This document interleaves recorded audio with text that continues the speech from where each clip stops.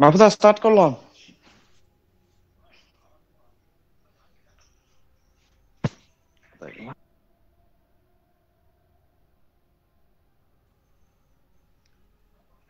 A very good evening, everyone. Hope all of you are enjoying the classes. Today is the sixth class of the add-on course on research methodology and GIS conducted by Department of Geography, Malda College. Today we have with us Dr. Bikas Bormon.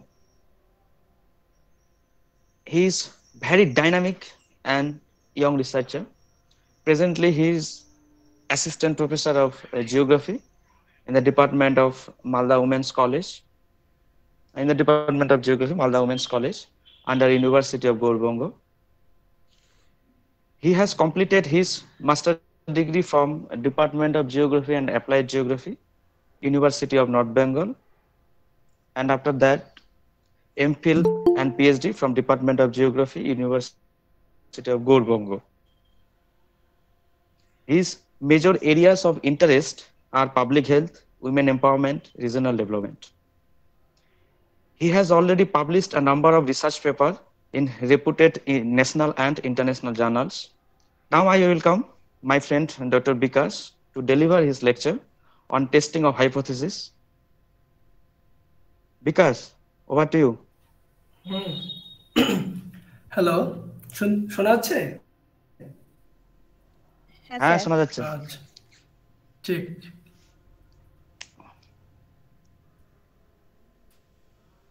আমি পিপিটা ready করি screen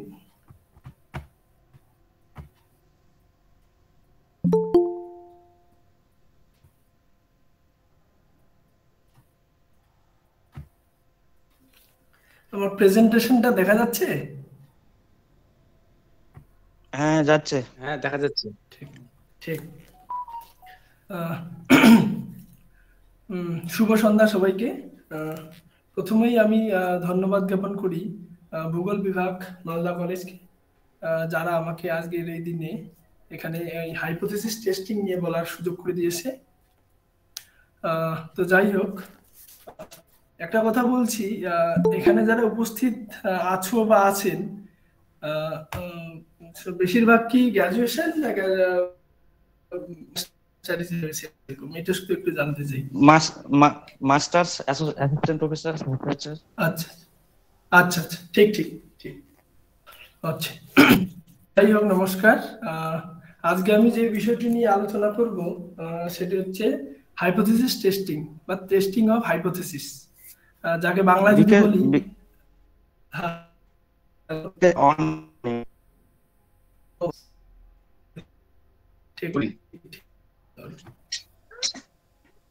হ্যাঁ হ্যাঁ এবার ঠিক আছে হ্যাঁ হ্যাঁ। তো আজকে যে বিষয়টি নিয়ে আমি আলোচনা করব সেটা হচ্ছে হাইপোথেসিস টেস্টিং বা টেস্টিং অফ হাইপোথেসিস যদি বাংলায় এটা বলি তাহলে হচ্ছে প্রকল্প যাচাই। তো এই হাইপোথেসিস টেস্টিং কথাটা আমরা সাধারণত আহ, আমাদের সময়কার পড়তাম, তখন কিন্তু আমরা জানতাম না।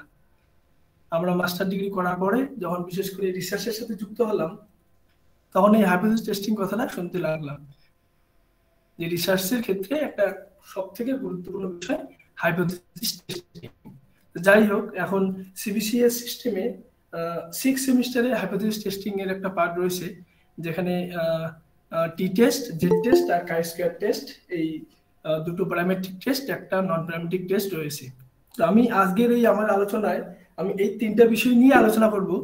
যদিও হাইপোথেসিস টেস্টিং সাধারণত নিয়ার অ্যাবাউট একশো একশো রকমের টেস্টিং পদ্ধতি রয়েছে।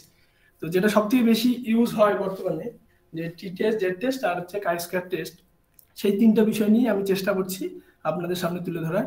তো যাই হোক, আমি বিকাশ বর্মন বর্তমানে অ্যাসিস্ট্যান্ট প্রফেসর হিসেবে ডিপার্টমেন্ট জিওগ্রাফি মালদা উমেন্স কলেজে কর্মরত অবস্থায় রয়েছি। তো এই যে হাইপোথেসিস টেস্টিং আসলে কি?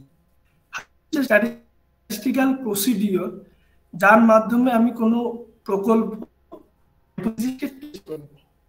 এবার প্রশ্ন হচ্ছে, এই হাইপোথেসিস প্রকল্প এত বলে যাচ্ছি, এই হাইপোথেসিস প্রকল্প আসলেই বাকি তাকে যে টেস্ট করব স্ট্যাটিস্টিক্যাল প্রসিডিওর মাধ্যমে বিভিন্ন ক্যালকুলেশন বিভিন্ন ফর্মুলা দিয়ে সেটাতে পড়ে যাচ্ছি।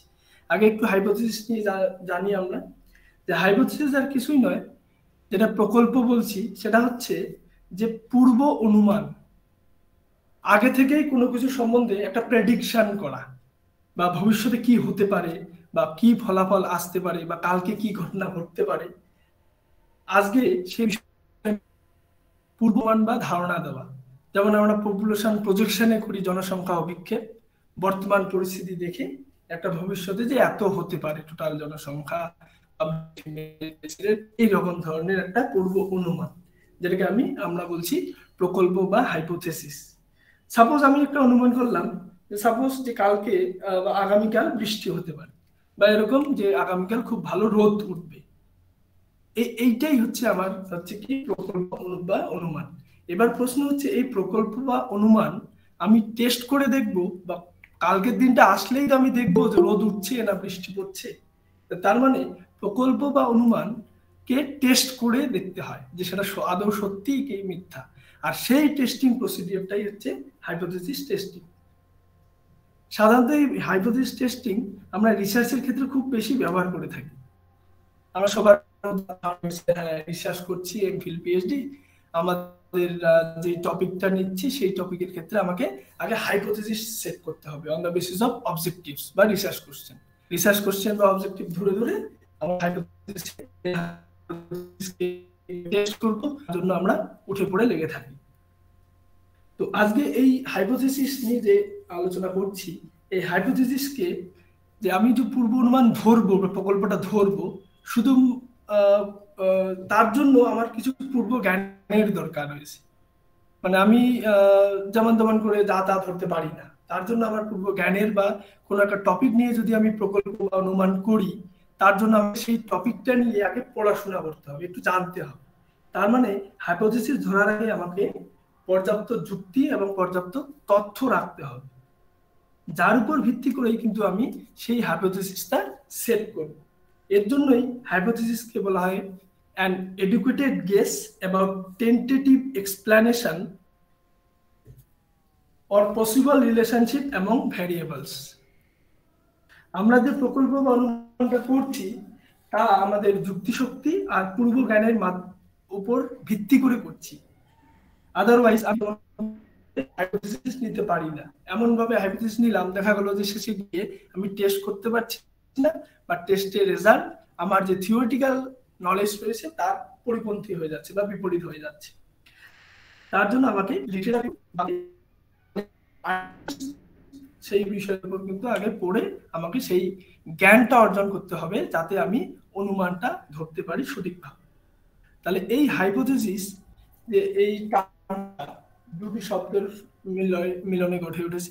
যেমন হচ্ছে একটা হচ্ছে হাইপো একটা হচ্ছে থেসিস হাইপো যেটাকে বলছে which is tentative or subject to verification that means যেটা এখনও সত্য নয়, একদম সত্য প্রমাণিত হয়নি হুইচ ইজ টেন্টেটিভ মানে হতেও পারে আবার নাও হতে পারে। তার জন্য বলছে সাবজেক্ট টু ভেরিফিকেশন তার মানে ওকে ভেরিফাই করতে হবে যে আদৌ ঠিক কিনা। এই যে আমি একটু আগে বললাম যে কালকে বৃষ্টি হবে বা কালকে ভালো রোদ উঠবে, তার জন্য আমাকে দেখতে হবে ভেরিফিকেশন করতে হবে, কালকের দিনটা আসুক আগে, দেখছি কি হচ্ছে। এর জন্য এই এই হাইপোথিসিসকে বলা হয় টেন্টেটিভ এক্সপ্লেনেশন আর থেসিস মানে statement about solution of a problem তার মানে কোনো ভবিষ্যতের সমস্যার একটা পূর্ব সমাধান দেওয়া আর কি। যে হাইপোথিসকে যদি এটা বলতে পারি, যে একটি সমস্যার সমাধান সূত্র। হাইপোথিসকে ভালোবাসা যদি বাংলায় বলি, যে হাইপোথিসিস আর কিছু নেই, একটি সমস্যার সমাধান সূত্র। বা একটি সমস্যার সম্ভাব্য সমাধান সূত্র, যেটি হচ্ছে সবসময় কিন্তু টেন্টেটিভ হয়। তাকে টেস্ট করতে হবে টেস্ট করে দেখতে হবে যে আদৌ সত্যি কি সেটা মিথ্যা। এবার আসি হতে পারে বা আমি কাকে গুড হাইপোথিসিস বলব, তার কিছু বৈশিষ্ট্য রয়েছে। এক নম্বর হচ্ছে hypothesis should be clear and precise পরিষ্কার হতে হবে আর প্রিসাইজ হতে হবে। Then hypothesis should be capable of being tested এইটা হচ্ছে সবথেকে গুরুত্বপূর্ণ বিষয়। আমি হাইপোথিস এমন হাইপোথিসিস বা প্রকল্প নিলাম যেটা আমি টেস্টই করতে পারছি না, সেটা যেন না হয়। Then hypothesis should state the relationship between variables আমার গবেষণায় আমি যে সমস্ত চলক বা ভ্যারিয়েবলকে নিয়েছি, সেই ভ্যারিয়েবলগুলির মধ্যে যেন সম্পর্ক বিরাজমান থাকে। Then hypothesis should be limited in scope and must be specific এই প্রকল্প বা অনুমান যে আমরা নিচ্ছি, তাকে কিন্তু অবশ্যই তার একটা নির্দিষ্ট পরিধির মধ্যে সীমাবদ্ধ থাকতে হবে এবং সুস্পষ্ট থাকতে হবে। আর হাইপোথিসিস সবসময় হবে স্পষ্ট এবং সীমিত। এরকম নয় যে হাইপোথিসিস বিশাল একটা বিস্তৃত ব্যাখ্যা দিতে চাইছি। Then should be stated in most simple terms মানে হাইপোথিসিসকে খুব সহজ হতে হবে যাতে সবাই বুঝতে পারে। এবার আসি আমরা এই হাইপোথিসিস এই সাধারণত আমরা হাইপোথিসিসের ক্ষেত্রে এই দুটো টার্ম খুব শুনে আসি নাল হাইপোথিসিস অল্টারনেটিভ হাইপোথিসিস তার মানে হাইপোথিসিসের শ্রেণি বিভাগ তার মানে হাইপোথিসিস হচ্ছে দু প্রকার একটা হচ্ছে নাল হাইপোথিসিস একটা হচ্ছে অল্টারনেটিভ হাইপোথিসিস এই যে আমরা হাইপোথিসিস টেস্টিং কথাটা বলি, এখানে কিন্তু আমরা সবসময় যাকে সব থেকে বেশি গুরুত্ব দেই সেটা হচ্ছে নাল হাইপোথিসিস নাল হাইপোথিসিসকেই কিন্তু আমরা বেশি নাল হাইপোথিসিসকেই টেস্ট করি। সেটা রিজেক্ট হবে সেটা অ্যাকসেপ্ট হবে, সেটাই কিন্তু দেখি। নাল হাইপোথিস যদি রিজেক্ট হয়, বিপরীতে যেটা রয়েছে সেটা অ্যাকসেপ্ট হবে অল্টারনেটিভ হাইপোথিসিস আবার যদি নাল হাইপোথিস অ্যাকসেপ্ট হয়, তার মানে কি? অল্টারনেটিভ হাইপোথিসিস রিজেক্ট হবে। এর জন্যই আমরা সবসময় হাইপোথিসিস টেস্টিংকে নাল হাইপোথিসিস টেস্টিংটা করে থাকি। এবার নাল হাইপোথিসিস জিনিসটা আসলে কি? যদি বাংলায় বলি, নাতি প্রকল্প বা নেতিবাচক। নাল মানে কি? নেই। কি নেই এখানে? নাল হাইপোথিসিস হচ্ছে যে গবেষণায় আমার রিসার্চ আমি যেই বিষয়ের উপর গবেষণা করছি বা রিসার্চ করছি, তার মধ্যে যতগুলি ভ্যারিয়েবল নিয়েছি বা চলক নিয়েছি, সেই চলকগুলির মধ্যে কোনো সম্পর্ক নেই, আমি এরকম ধরে নিচ্ছি। যে that there is no relationship between the variables যদিও এই নাল হাইপোথিসিসের কে কি বলব আমি, সেটা অবশ্য নির্ভর করে আবার প্যারামেট্রিক টেস্ট আর নন প্যারামেট্রিক টেস্টের উপর। যখন আমরা প্যারামেট্রিক টেস্ট আমি t test and z test নিয়ে বলব, তখন দেখবেন যে তখন আমি নাল হাইপোথিস এরকম ভাবে বলছি যে there is no significant difference between two means population mean R sample মিনের মধ্যে পার্থক্য নেই। আবার এই নাল হাইপোথিসিসকেই যখন আমরা নন প্যারামেট্রিক টেস্টে বলব টাই স্কোয়ারের ক্ষেত্রে যখন করব, তখন আবার বলব যে এরকম যে there is no significant association between two variables তাহলে এই নাল হাইপোথিসিসের কথাটা একটাই বোঝাচ্ছে যে নো একটাতে নো রিলেশনশিপ বা নো অ্যাসোসিয়েশন আর একটাতে দেখাচ্ছে নো সিগনিফিকেন্ট ডিফারেন্স কোনো পার্থক্য নেই। এইটা হচ্ছে নাল হাইপোথিসিস এবার নাল হাইপোথিসিসের যদি আমি কিছু উদাহরণ দিই, তাহলে সব থেকে বেস্ট হবে এই নাল হাইপোথিসিস যেটাকে আমরা এইচ জিরো বলে থাকি। এইচ জিরো দিয়ে ডেনোট করে থাকি নাল হাইপোথিসিসকে আমি যদি উদাহরণ এরকম দিই সাপোজ যে বয়সের, বয়স এজ বয়স সঙ্গীতের দক্ষতার উপর কোনো প্রভাব ফেলে না। Age has no effect on musical ability যে কোনো বয়সে মানুষ মিউজিক শিখতে পারে বা মিউজিক ইনস্ট্রুমেন্টাল বিভিন্ন ইনস্ট্রুমেন্ট বাজাতে পারে।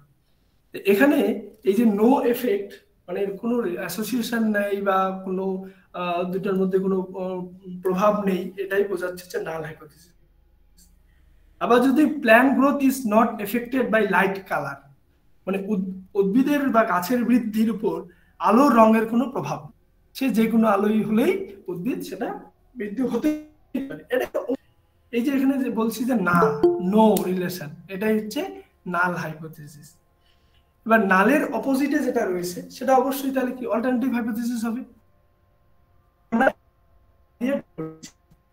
নাল হাইপোথিসিসের বিপরীতটাই হচ্ছে অল্টারনেটিভ হাইপোথিসিস তাহলে ওখানে যখন বলছি নো অ্যাসোসিয়েশন আমরা এখানে বলছি অবশ্যই অ্যাসোসিয়েশন রয়েছে। ওখানে যখন নাল হাইপোথিসিসে বলছি there is no significant difference between two means তার মানে অল্টারনেটিভ হাইপোথিসিস উল্টোটা বলব there is a significant difference between two means just null hypothesis যদি আমাদের সেট হয়ে থাকে সেট করতে পারি, তাহলে অবশ্যই কিন্তু আমরা অল্টারনেটিভ হাইপোথিসিসটা অটোমেটিক্যালি তার অপোজিট হয়ে যাবে। এবার এই অল্টারনেটিভ হাইপোথিসিস আবার সাধারণত দুই ধরনের হয়। একটা হচ্ছে ডিরেকশনাল অল্টারনেটিভ হাইপোথিসিস আর একটা হচ্ছে নন ডিরেকশনাল অল্টারনেটিভ হাইপোথিসিস এবার প্রশ্ন হচ্ছে ডিরেকশনাল জিনিসটা কি? ডিরেকশনাল বলতে এখানে যে সম্পর্কের একটা দিক নির্দেশ সম্পর্কে নির্দেশ করতে মানে এরকম যে সম্পর্কটা পজিটিভ হবে না নেগেটিভ হবে।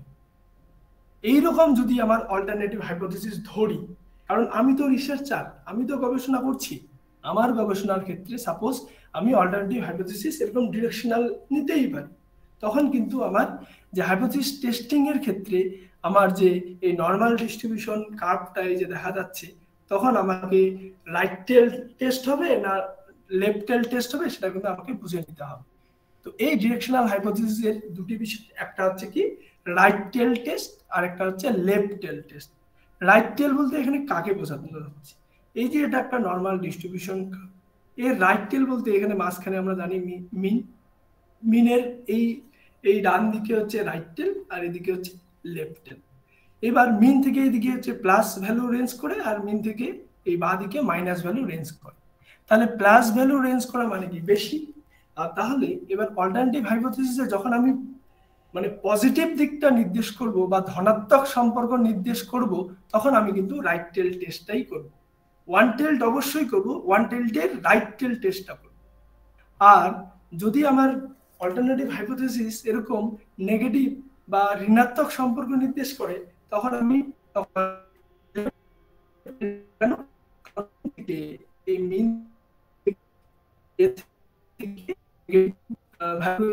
তার জন্য কম সংখ্যার দিকে আমাকে কিন্তু যখন লেফট টেল টেস্টটা করতে হবে। এই, এটা হচ্ছে ডিরেকশনাল হাইপোথিসিসের দুটি বিষয়।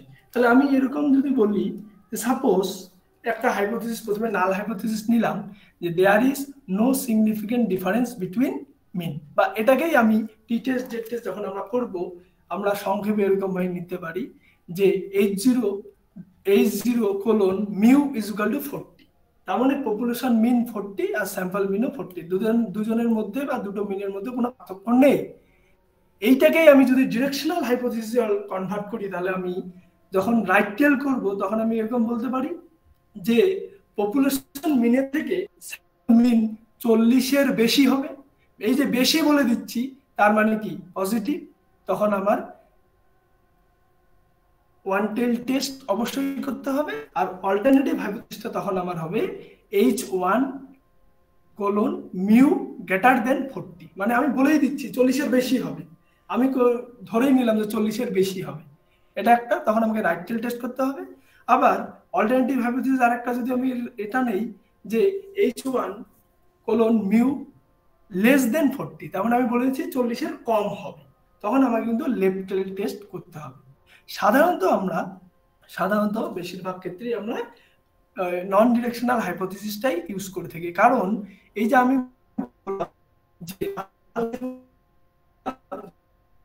আর স্যাম্পল চল্লিশ হবে মানে কোনো পার্থক্য নেই। এইবার নন অল্টারনেটিভ কি করতে হবে? যেটা আমাদের সব থেকে বেশি সুবিধা যে আমরা যদি নন ডিরেকশনাল নেই, এরকম বলে দেবো যে এইচ ওয়ান চল্লিশের সমান নয়, যে পপুলেশন মিন আর স্যাম্পল মিন সমান নয়, চল্লিশের হবে না। কি সুবিধা? চল্লিশের কম হতে পারে। তাহলে চল্লিশের বেশি যখন হবে আর চল্লিশের যখন কম হবে, তাহলে আমার এই যে টু টেল টেস্ট যদি আমি করি রাইট টেল টেস্ট আর লেফট টেল টেস্ট দুটোই যদি করি, তাহলে আমার সুবিধা হবে কি? যদি এখানে নেগেটিভ ভ্যালু আসে টেস্ট করার পরে যে টেস্ট স্ট্যাটিস্টিক্স এর ভ্যালু বা টির ভ্যালু বা জেড এর ভ্যালু যদি নেগেটিভ আসে, তখন আমি লেফট টেল টেস্টে দেখব। আর যদি পজিটিভ আসে, তখন আমি রাইট টেল টেস্টে দেখতে পারব। আর যদি আমি ডিরেকশনাল নেই ডিরেকশনাল নিলে তখন আমাকে কিন্তু ওয়ান টেল টেস্টই করতে হবে। এবার যদি আমার পজিটিভ নেই, তাহলে আমার রাইট টেল টেস্ট আবার যদি নেগেটিভ নেই বা হচ্ছে ঋণাত্মক সম্পর্ক নির্দেশ করি, তখন আমাকে লেফট টেল টেস্ট করতে হবে। এই যে অল্টারনেটিভ হাইপোথিসিসের এই দুটি হচ্ছে গুরুত্বপূর্ণ বিষয়। যদিও আমরা রিসার্চাররা আমাদের নিজের উপর নির্ভর করবে যে আমি কোন হাইপোথিসিস অল্টারনেটিভ হাইপোথিসিস কোনটা নেব। ডিরেকশনাল নেব ডিরেকশনাল নেব এখানেও তাই দেখাচ্ছে যে right tail test left tail test আর নিচেরটা হচ্ছে টু টেল টেস্ট দেখাচ্ছে। যেটা আমি বললাম যে এই মিউ নট ইকুয়াল টু যেটা আমি বললাম যে ফোরটি তখন আমাকে এই দুটো দিকেই দেখতে হবে রাইট টেল আর হচ্ছে লেফট টেল যদি আমি বলে দিই চল্লিশের বেশি, তার মানে রাইট টেল টেস্ট করতে হবে। আর যদি বলেই দিই অল্টারনেটিভ হাইপোথিসিস চল্লিশের কম হবে, তাহলে লেফট টেল টেস্ট করতে হবে। এইবার আরেকটা বিষয় যে আমরা সাধারণত এই হাইপোথিসিস টেস্ট করতে গিয়ে আমরা যেটা খুব বলে থাকি যে ninety five ninety nine percent significant level then alpha এই সমস্ত কথা বলে থাকি। সেই জিনিসটা কি? এটা একটু জাস্ট আমি বলি যে কখন আমরা নাল হাইপোথিসিস বললাম যে আমরা হাইপোথিসিস টেস্টিং এ আমাদের কনসার্ন বিষয় হচ্ছে মেইন হচ্ছে কি? নাল হাইপোথিসিসকে রিজেক্ট করব না? নিয়েই আমি সব কিছু করব। নাল যদি রিজেক্ট হয় তাহলে অটোমেটিক্যালি অল্টারনেটিভ হাইপোথিসিস অ্যাকসেপ্ট হবে। আর নাল যদি অ্যাকসেপ্ট হয় অটোমেটিক্যালি অল্টারনেটিভ হাইপোথিসিস অ্যাকসেপ্ট হবে। তাহলে এই যে অ্যাকসেপ্ট হবে কখন আর রিজেক্ট কখন হবে, এইটা আমাদের একটু বুঝতে হবে। তাহলে এইটা দেখাচ্ছে এই এই ছবিটা যেটা আমি করেছি। সেটা হচ্ছে একটা নর্মাল ডিস্ট্রিবিউশন কার্ভ আমরা জানি।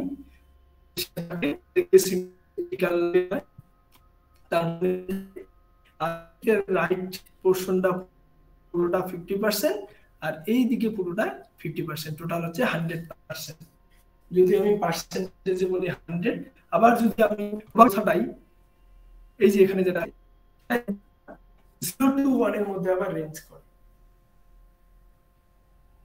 তাহলে এই যে আমি যখন পার্সেন্টেজে বলছি যে ninety five percent significant level এই নাইনটি ফাইভ পার্সেন্ট সিগনিফিকেন্ট মানে হচ্ছে এরকম যে যে আমার একশো বারের মধ্যে, একশো বারের মধ্যে পঁচানব্বই বার সঠিক আসবে। আর বাকি যে পাঁচবার সেটা ভুল আসার সম্ভাবনা রয়েছে। এর জন্য এই যে এদিকে টু পয়েন্ট ফাইভ পার্সেন্ট আর এদিকে টু পয়েন্ট ফাইভ পার্সেন্ট দুটোকে যোগ করলে আমরা ফাইভ পার্সেন্ট পাই। এই ফাইভ পার্সেন্ট মানে একশো বারের মধ্যে পাঁচবার ভুল হওয়ার সম্ভাবনা রয়েছে। এইটাই হচ্ছে ফাইভ পার্সেন্ট সিগনিফিকেন্ট লেভেল তাহলে এই যে এখানে দেখাচ্ছে যে মিন থেকে এই এত দূর পর্যন্ত এটাকে বলা হয় ক্রিটিক্যাল ভ্যালু এইটাকে বলা হয় আপার ক্রিটিক্যাল ভ্যালু আর এইটাকে বলা হয় লোয়ার ক্রিটিক্যাল ভ্যালু এই দুটো ক্রিটিক্যাল ভ্যালুর মাঝখানের জোনটাই হচ্ছে আমাদের কি? Acceptance zone. Acceptance zone of what R acceptance zone of null hypothesis কারণ আমরা এখানে কখনোই এরকম বলব না যে অল্টারনেটিভ হাইপোথেসিস নিয়ে বলব না কিন্তু। আমরা আগে নালকে নিয়ে বলব নালকে নিয়ে যা বলব, তার অপোজিটটাই হয়ে যাবে অল্টারনেটিভ হাইপোথেসিসের ক্ষেত্রে। তাহলে কখন অ্যাকসেপ্টেন্স হবে? আমাদের যদি আমরা নাইনটি ফাইভ পার্সেন্ট সিগনিফিকেন্ট লেভেলে দেখি, যখন আমরা টি টেস্ট করব, তখন আমরা ডিগ্রি অফ ফ্রিডম ধরে দেখব, আবার যখন জেড টেস্ট দেখব, তখন আবার ডিগ্রি অফ ফ্রিডম না ধরে দেখে আমরা জাস্ট নাইনটি ফাইভ পার্সেন্টে একটা ভ্যালু আপার ক্রিটিক্যাল ভ্যালু আর লোয়ার ক্রিটিক্যাল ভ্যালু রয়েছে, সেইটা জাস্ট আমাদের মাথায় রাখতে হবে তাহলে কিন্তু আমি বুঝতে পারব। এবার প্রশ্ন হচ্ছে, কখন আমি নাল হাইপোথিসকে রিজেক্ট করব আর অ্যাকসেপ্ট করব? এই ডিসিশন রুল যেটা, সেটা হচ্ছে গুরুত্বপূর্ণ যে if calculated value is greater than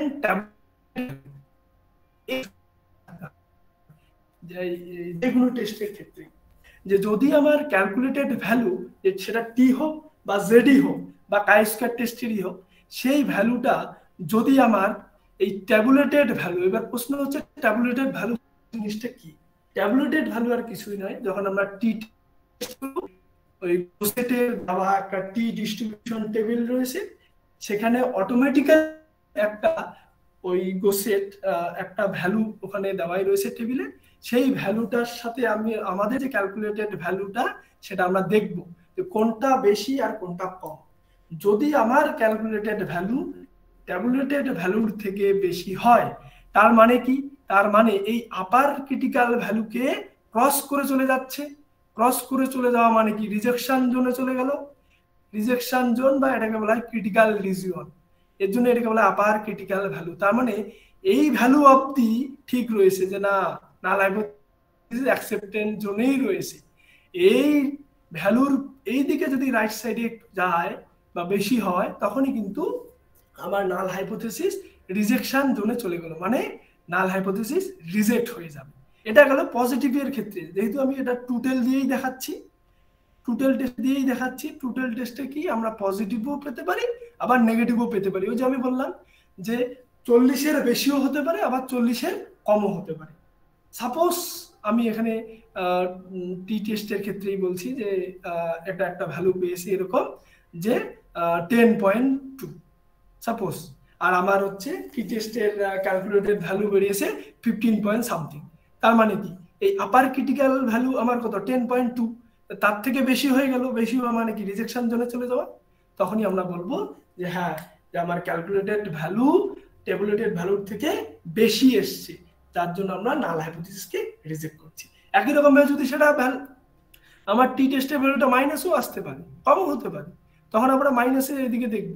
হ্যাঁ এইবার একটা বিষয় টুটেল টেস্টের ক্ষেত্রে এটা মাথায় রাখতে হবে যে এই দিকের যে আপার ক্রিটিক্যাল ভ্যালু যেটাকে বলছি, এটা যা হবে, এই দিকের লোয়ার ক্রিটিক্যাল ভ্যালু তাই হবে। শুধুমাত্র পার্থক্য হচ্ছে এইদিকে হচ্ছে পজিটিভ হবে আর এইদিকে হচ্ছে নেগেটিভ হবে। তাহলে একই রকম ভাবে যদি বলি, এই এইদিকে নেগেটিভ মানটা মাইনাস টেন পয়েন্ট টু আবার যদি ক্যালকুলেটেড ভ্যালু এরকম এসছে যে মাইনাস থার্টিন পয়েন্ট ফোর তার মানে কি? এই টেন পয়েন্ট টু থেকে বেশি হয়ে যাচ্ছে। বেশি হয়ে যাওয়া মানে কি? রিজেকশন জোনে চলে যাচ্ছে। তখনই আমরা বলব যে নাল হাইপোথেসিস রিজেক্ট করতে হবে আর অল্টারনেটিভ হাইপোথেসিস অ্যাকসেপ্ট করতে হবে। এইটুকু জাস্ট আমাদের মাথায় রাখতে হবে যে নাইনটি ফাইভ পার্সেন্ট সিগনিফিকেন্ট লেভেলে আর নাইনটি নাইন পার্সেন্ট সিগনিফিকেন্ট লেভেলে কি হবে? একই রকম ভাবে এখানেও তাই যে নাইনটি নাইন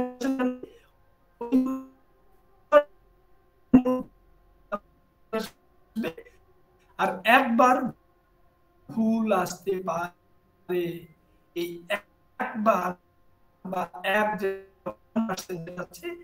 রাইট টেল টেস্টে জিরো পয়েন্ট ফাইভ পার্সেন্ট আর টেল টেস্টে জিরো পয়েন্ট ফাইভ পার্সেন্ট দুটোকে যোগ করলে ওয়ান পার্সেন্ট সিগনিফিকেন্ট লেভেল হচ্ছে। এই উপরেরটা যা, নিচেরটাই তাই বোঝাচ্ছে, শুধুমাত্র পার্থক্য যেখানে নাইনটি ফাইভ পার্সেন্ট আর এখানে নাইনটি নাইন পার্সেন্ট এই যে আমার মিন থেকে এইদিকে পুরোটাই ফিফটি পার্সেন্ট এদিকে ফিফটি পার্সেন্ট দুটো ভাগ হয়ে যাচ্ছে। তার মধ্যে forty nine point five percent হচ্ছে অ্যাকসেপ্টেন্স জন্য পড়েছে আর zero point five percent rejection জন্য পড়েছে। একই রকম ভাবে বাদিকে forty nine point five percent acceptance জন্য পড়েছে আর হচ্ছে zero point five percent rejection জন্য পড়েছে। ওই একই একই বিষয় এখানেও রিপ্রেজেন্ট করছে শুধুমাত্র একটা প্রবাবিলিটির মাধ্যমে যে এখানে, ওখানে হান্ড্রেড পার্সেন্ট ধরেছি ওয়ান ধরেছি ওয়ান জাস্ট ওয়ান একই এই জিরো পয়েন্ট জিরো ফাইভ বা zero point zero two five যদি যোগ করি, তাহলে আসবে আমার zero point zero point zero five এবার আরেকটা নতুন বিষয় যে আমরা হাইপোথিসিস টেস্ট করতে গিয়ে যেটা হচ্ছে সম্মুখীন হই, সেটা হচ্ছে বিভিন্ন রকম ভুল হতে পারে আমাদের। এই ভুলটাকে হাইপোথিসিস টেস্টিং এর ক্ষেত্রে দুটো নাম বলা হচ্ছে, একটা হচ্ছে টাইপ ওয়ান এরর আর একটা হচ্ছে type two error type one error মাথায় রাখতে হবে, আর টাইপ টু এরর মাথায় রাখতে হবে। টাইপ ওয়ান এরর আর কিছুই নয়, মাথায় রাখতে হবে টাইপ ওয়ান এরর যে নাল হাইপোথিসিস যখন ট্রু সত্যি, কিন্তু সেটা কি হয়েছে? রিজেক্ট হয়েছে। তার মানে কি? Null hypothesis true null hypothesis মানে সাপোজ আমি বলে দিলাম যে এই রকম যে একটা উদাহরণ দিয়ে বলে দিলাম there is no association between suppose education and sports suppose এটা আমি ধরলাম যে শিক্ষা আর খেলার মধ্যে কোনো সম্পর্ক নেই। এবার আমার কি হয়েছে যে নাল হাইপোথিসিস আমার রিজেক্ট হয়েছে, তাই না? এবার দেখা যাচ্ছে যে নাল হাইপোথিসিস আমার সত্যি কিন্তু রিজেক্ট হয়েছে।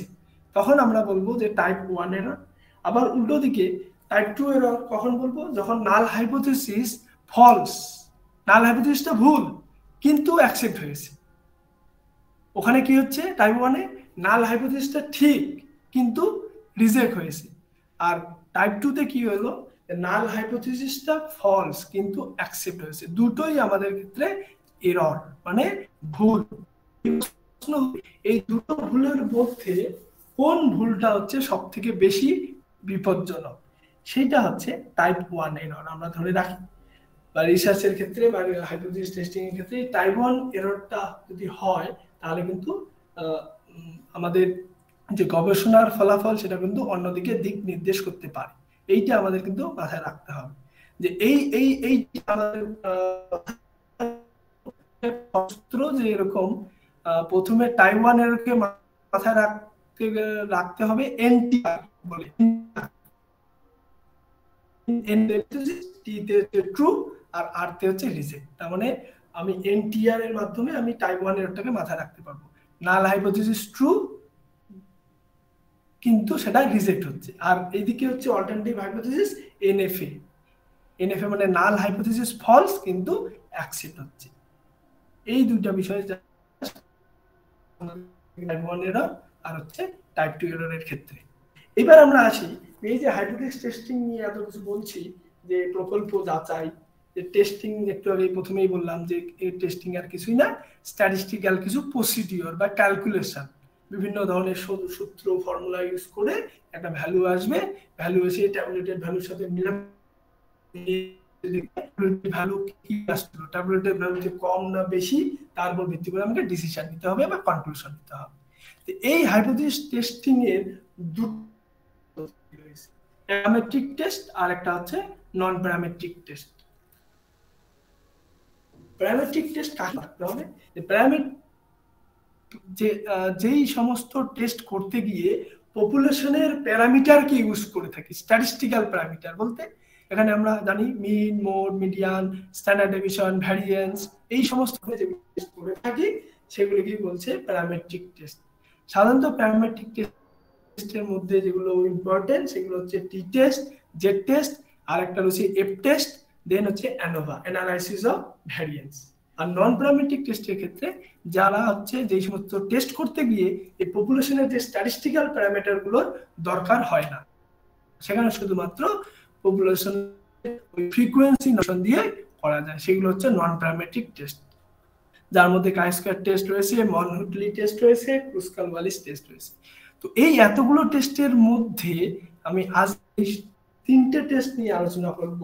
সেটা হচ্ছে টি টেস্ট জেড টেস্ট আর হচ্ছে কাই স্কোয়ার টেস্ট মানে প্যারামেট্রিক টেস্টের মধ্যে দুটো আর নন প্যারামেট্রিক টেস্টের মধ্যে একটা।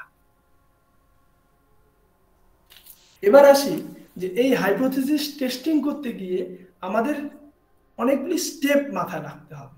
যে প্রথমে কি করব? এরকম নয় যে প্রথম স্টেপটা বাদ দিয়েই সেকেন্ড স্টেপ আগে করব। না হাইপোথিসিস টেস্টিং এর কিছু স্পেসিফাইড স্টেপ রয়েছে, সেই বিষয়গুলো আমাদের মাথায় রাখতে হবে। যেহেতু প্রথম কথাই হচ্ছে যে হাইপোথিস টেস্ট মানে প্রকল্প যাচাই তো প্রকল্পটা আমি, আমরা আলোচনা করলাম যে দুই প্রকার প্রকল্প, একটা হচ্ছে নাল হাইপোথিসিস একটা হচ্ছে অল্টারনেটিভ হাইপোথিসিস তার মানে কি? হাইপোথিসিস টেস্ট করার আগেই আমাকে হাইপোথিসিস সেট করতে হবে।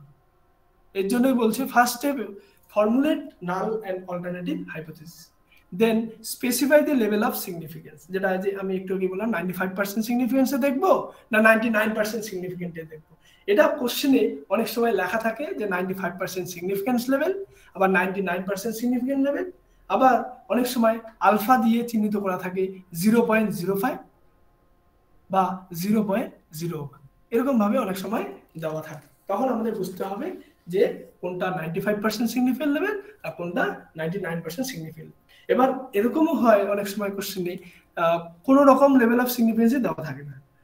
তখন আমাদের নাইনটি ফাইভ পার্সেন্টও দেখে লিখতে হবে, আবার নাইনটি নাইন পার্সেন্টও দেখে লিখতে হলে ভালো লিখলে অনেক সময় দেখা যায় যেটা নাইনটি ফাইভ পার্সেন্টে সিগনিফিকেন্ট হচ্ছে না, সেটা নাইনটি নাইন পার্সেন্টে সরি যেটা নাইনটি নাইন পার্সেন্টে হচ্ছে না, সেটা নাইনটি ফাইভ পার্সেন্টে হচ্ছে। এরকমও অনেক সময় হয়।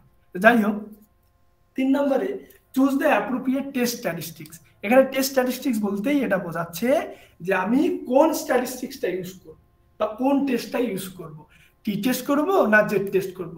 সেটা প্যারামেট্রিক টেস্ট করব না নন প্যারামেট্রিক টেস্ট করব? Then calculate the value of test statistics আমরা বিভিন্ন সূত্র ইউজ করে ওই টি বা জেড এর ভ্যালুগুলো আমরা বের করব। দেন আমরা ডিসিশন নেব ওই কার সাথে? ক্যালকুলেটেড ভ্যালু আর ট্যাবুলেটেড ভ্যালু দেখি। ক্যালকুলেটেড ভ্যালু বেশি না ট্যাবুলেটেড ভ্যালু বেশি? দেন আমাদের ডিসিশন রুল তো আমরা জানি ক্যালকুলেটেড ভ্যালু যদি ট্যাবুলেটেড ভ্যালুর থেকে বেশি হয়, তখন আমরা নাল হাইপোথিসিসকে রিজেক্ট করব, তার অপোজিটে অল্টারনেটিভ অ্যাকসেপ্ট করব। এই স্টেপগুলো শুধু আমাদের একটু মাথায় রাখতে হবে হাইপোথিসিস টেস্টিং এর ক্ষেত্রে। তো যাই হোক, এবার প্রশ্ন হচ্ছে যে এই যে প্যারামেট্রিক টেস্ট যে আমরা করছি, দুটো টেস্ট একটা টি টেস্ট আর একটা জেড টেস্ট এই দুটো টেস্টের মধ্যে পার্থক্য কিন্তু খুব কম। আমরা যখন দেখা যাবে যে মোটামুটি মোরাললেস সেম এবার প্রশ্ন হচ্ছে, কখন তাহলে টি টেস্ট আর কখন জেড টেস্ট এক নাম্বার যেটা সবাই বেশিরভাগ সাইজের কথাই আমরা বলি। যে তিরিশের কম যদি হয়, তিরিশের কম যদি হয়, তখন আমরা টি টেস্ট আর তিরিশ বা তার বেশি হলে আমরা জেড টেস্ট ইউজ করে থাকি। এবার আরেকটা বিষয় রয়েছে, আরেকটা প্যারামিটার যে আমরা টি টেস্ট আর জেড টেস্ট কখন করব, সেটা হচ্ছে পপুলেশন স্ট্যান্ডার্ড ডেভিয়েশন যে আমার প্রশ্নের মধ্যে আমাকে দেখতে হবে যে পপুলেশন স্ট্যান্ডার্ড ডেভিয়েশন আদৌ দেওয়া রয়েছে কিনা। এই স্ট্যান্ডার্ড ডেভিয়েশনটাই অনেক সময় আবার ভ্যারিয়েন্সের মাধ্যমে দেওয়া থাকে। তখন আমাকে ভ্যারিয়েন্স থেকে স্ট্যান্ডার্ড ডেভিয়েশন বের করতে হয়। রুট ওভার ভ্যারিয়েন্স করলেই কিন্তু আমরা স্ট্যান্ডার্ড ডেভিয়েশন পেতে পারি। তো যাই হোক, আমি পরে এক্সাম্পলের মাধ্যমে দেখাচ্ছি। তো আমাদের প্রথমে মাথায় এটাই রাখতে হবে যে এক নম্বর হচ্ছে দুটো প্যারামিটারের মাধ্যমে মাথায় রাখতে হবে। একটা স্যাম্পল সাইজ আর একটা হচ্ছে পপুলেশন স্ট্যান্ডার্ড ডেভিয়েশন তাহলে পপুলেশন স্ট্যান্ডার্ড ডেভিয়েশন যদি দেওয়া থাকে, তাহলে অবশ্যই আমরা কি করব? অবশ্যই তার মধ্যে আবার দেখতে হবে যে স্যাম্পল সাইজটা কত। তিরিশের যদি আবার বেশি হয়, তখন আবার জেড টেস্ট আর তিরিশের কম যদি হয়, তখন আবার টি টেস্ট আবার পপুলেশন স্ট্যান্ডার্ড ডেভিয়েশন একদমই নেই প্রশ্নে, তখন আমি কিছুই দেখব না, তখন আমরা টি টেস্ট করতে পারি। অবশ্যই এক্ষেত্রে ব্যতিক্রম যে আমরা যদি টি টেস্টের জায়গায় জেড টেস্টও করি সাপোজ তখন কিন্তু দেখবে যে রেজাল্ট কিন্তু আমার মোরালেস একই দিকে ইন্ডিকেট করছে। এরকম নয় যে টি টেস্ট করলে নাল হাইপোথিসিসটা যেখানে রিজেক্ট হচ্ছে জেড টেস্ট করলে সেখানে নাল হাইপোথিসিসটা অ্যাকসেপ্ট হবে। এরকম কিন্তু হবে না। তো যাই হোক, প্রথম তাহলে আসি আমরা টি টেস্ট যেটা হচ্ছে প্যারামেট্রিক টেস্টের সব থেকে গুরুত্বপূর্ণ একটা টেস্ট যেটা আমরা করে থাকি। যে টি টেস্ট আর কিছুই নাই আমরা সবাই স্টুডেন্ট টি টেস্ট বলা হয় এটাকে। স্টুডেন্ট প্রথম তিনি দিয়েছেন। কি জন্য দিয়েছে? যে T test is to compare two means ওই যে আমি বললাম যে, দুটো মিনের মধ্যে পার্থক্যটা আদৌ আছে কিনা বা সেই পার্থক্যটা স্ট্যাটিস্টিক্সের দিকে সিগনিফিকেন্ট কিনা, সেইটা নির্দেশ করার জন্য বা সেইটা জানার জন্য কিন্তু আমরা টি টেস্টটা করে থাকি। এবার এই যে স্টুডেন্ট টি টেস্ট এই কথাটার একটা মানে রয়েছে। এই যে উইলিয়াম গোসে তিনি সম্ভবত হ্যাঁ বেলজিয়াম একটা কোম্পানিতে তিনি হায়ার করে নিয়ে গেছেন। সেখানে সেই কোম্পানির একটা শর্ত ছিল যে সেখানে যারা রিসার্চার বা যারা কোনো কিছু তাদের পাবলিশ করবে পাবলিকেশন করবে, তারা নিজের নামে পাবলিকেশন করতে পারবে না। তখন তিনি, এই তিনি একটা পেন নেম নিয়েছিলেন যে সেটা স্টুডেন্ট ওই স্টুডেন্ট পেন নেম নিয়ে তিনি তার রিসার্চকে পাবলিশ করেছিলেন বাইরে। এটা আমরা টি ডিস্ট্রিবিউশন টেবিল সেটা ওনারই কিন্তু দেওয়া সেখান থেকে। সাধারণত এটা টি টেস্ট কেন করা হয়? যে দুটো মিনের মধ্যে আদৌ পার্থক্য আছে কিনা? যে আমি একটুই বললাম যে আমরা বলছি there is no significant difference between two means এবার টু মিনস বলতে কারা? একটা হচ্ছে পপুলেশন মিন একটা হচ্ছে স্যাম্পলের মিন কারণ আমাদের রিসার্চ করতে গিয়ে আমাদের এটাই তো মাথায় রাখতে হবে সবসময় যে একটা হচ্ছে পপুলেশনের উপর সার্ভে করে রিসার্চ করতে পারি না। পপুলেশনের একটা পার্ট বা অংশ নিয়ে আমরা করি সেটাকে যেটাকে আমরা স্যাম্পল বলছি। তাহলে এই পপুলেশন মিন আর স্যাম্পল মিনের মধ্যে আদৌ পার্থক্য আছে কিনা? আর সেটা স্ট্যাটিস্টিক্যালি সিগনিফিকেন্ট কিনা? এইটাই দেখার জন্য কিন্তু আমরা সাধারণত টি টেস্ট করে থাকি। এবার এই টি টেস্ট সাধারণত তিন ধরনের হয়। মানে তিন ধরনের টেস্ট আমি এক্সাম্পলের মাধ্যমে দেখাবো। একটা হচ্ছে single simple T test single sample T test যেখানে হচ্ছে একটা পপুলেশন থেকে একটা নির্দিষ্ট পপুলেশন থেকে নেব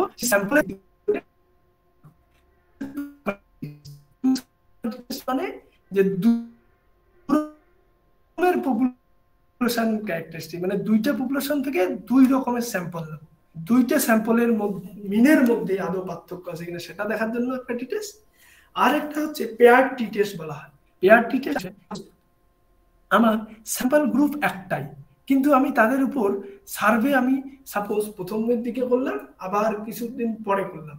সাপোজ কোনো কিছু দেখতে চাই, কোনো কিছুর এফেক্ট দেখতে চাই, বা আমি এরকম দেখতে চাই মেডিকেশনের এফেক্ট ইন্টেলিজেন্সের উপর আছে কিনা।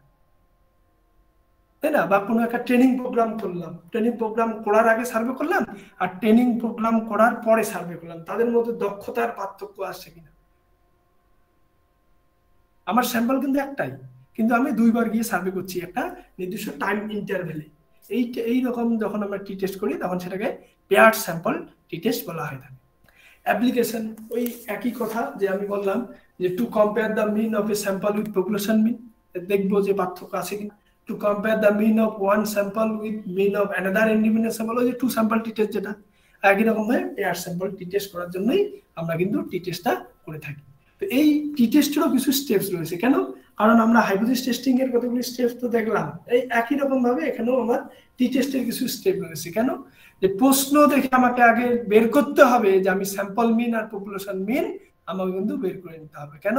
কারণ পপুলেশন মিন আর স্যাম্পল মিনের মধ্যে ডিফারেন্স আছে কিনা সেটাই তো জানার জন্য টি টেস্ট করছি। তার আগে তাহলে সর্বপ্রথম আমাদের স্যাম্পল মিন আর পপুলেশন মিনটা খুঁজে বের করতে হবে।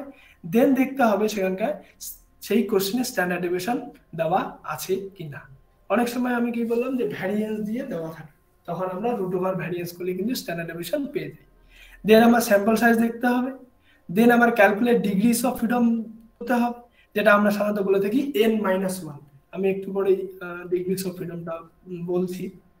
আর ডিগ্রিস অফ ফ্রিডম আমরা সূত্র যেটা বুঝি এন মাইনাস ওয়ান এন মানে স্যাম্পল সাইজ যত রয়েছে, তার থেকে এক মাইনাস করে যেটা পাই, সেইটাই হচ্ছে ডিগ্রিস অফ ফ্রিডম দেন আবার দেখতে হবে যদি আমি টি যেহেতু করছি তাহলে সূত্র প্রয়োগ করে টি ভ্যালু বের করতে হবে calculate T value then calculated T ভ্যালুটা ট্যাবলেটেড টি ভ্যালুটা করতে হবে। দুটোর মধ্যে দেখতে হবে কোনটা বেশি, কোনটা কম। দেন আমার ডিসিশন রুলটা মাথায় রাখতে হবে যে ক্যালকুলেটেড টি ভ্যালু যদি বেশি হয় ট্যাবলেটেড টি ভ্যালুর থেকে, তাহলে আমাকে ওই যে রিজেক্ট নাল হাইপোথিসিস আমার এই এই ডিসিশন রুলটা কিন্তু তিনটা টেস্টের ক্ষেত্রেই একই কিন্তু।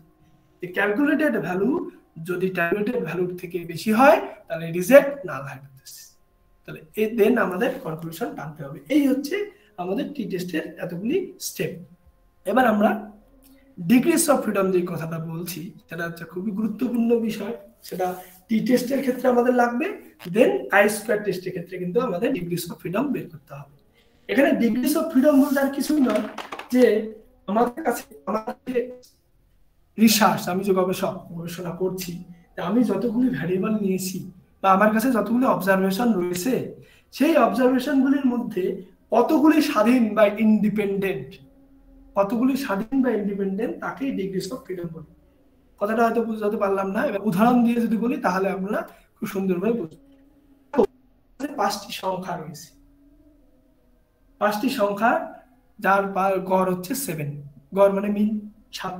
এইবার আমি প্রথম চারটি সংখ্যা আমি ইচ্ছা মতো নিতে পারি সাপোজ আমি পাঁচ, ছয়, সাত, আট নিলাম।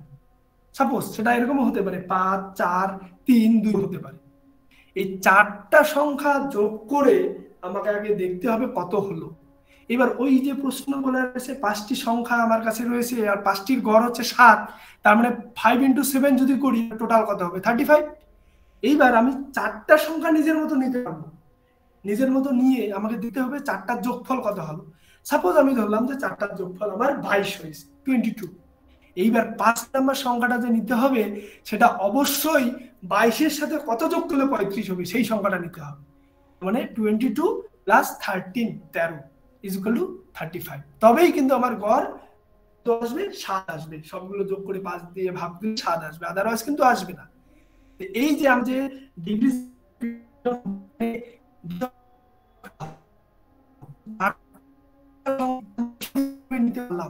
একটা কিন্তু পারলাম না। পাঁচটাই যদি নিজের ইচ্ছা মতো স্বাধীনভাবে নেই, তাহলে কিন্তু আমার ওই গড়টা কিন্তু আমার নাও আসতে পারে। এর জন্যই ডিগ্রিজ অফ ফ্রিডম এর সূত্রটা হচ্ছে কিন্তু এন মাইনাস ওয়ান যদিও এটা টি টেস্টের ক্ষেত্রে এন মাইনাস ওয়ান আবার যখন আই স্কোয়ার টেস্ট করব, তখন কিন্তু তার হচ্ছে সূত্রটা কিন্তু বের করব, তখন আমরা করব total row minus one into total column minus one যাই হোক আমরা পরে দেখছি। তাহলে এই যে এন মাইনাস ওয়ান ওয়ান কেন হলো? একটা সংখ্যা আমি নিজের ইচ্ছা মতো নিতে পারব না। ওই স্বাধীনতাটা আমার নেই। আমার স্বাধীনতা কত? চারটি সংখ্যা আমি নিজের মতো নিতে পারব। এই হচ্ছে আমার ডিগ্রিস অফ ফ্রিডম এইবার আমরা ঢুকে যাব যে আমাদের টি টেস্ট যেটা আমি তিনটা এক্সাম্পল দিয়ে দেখাবো।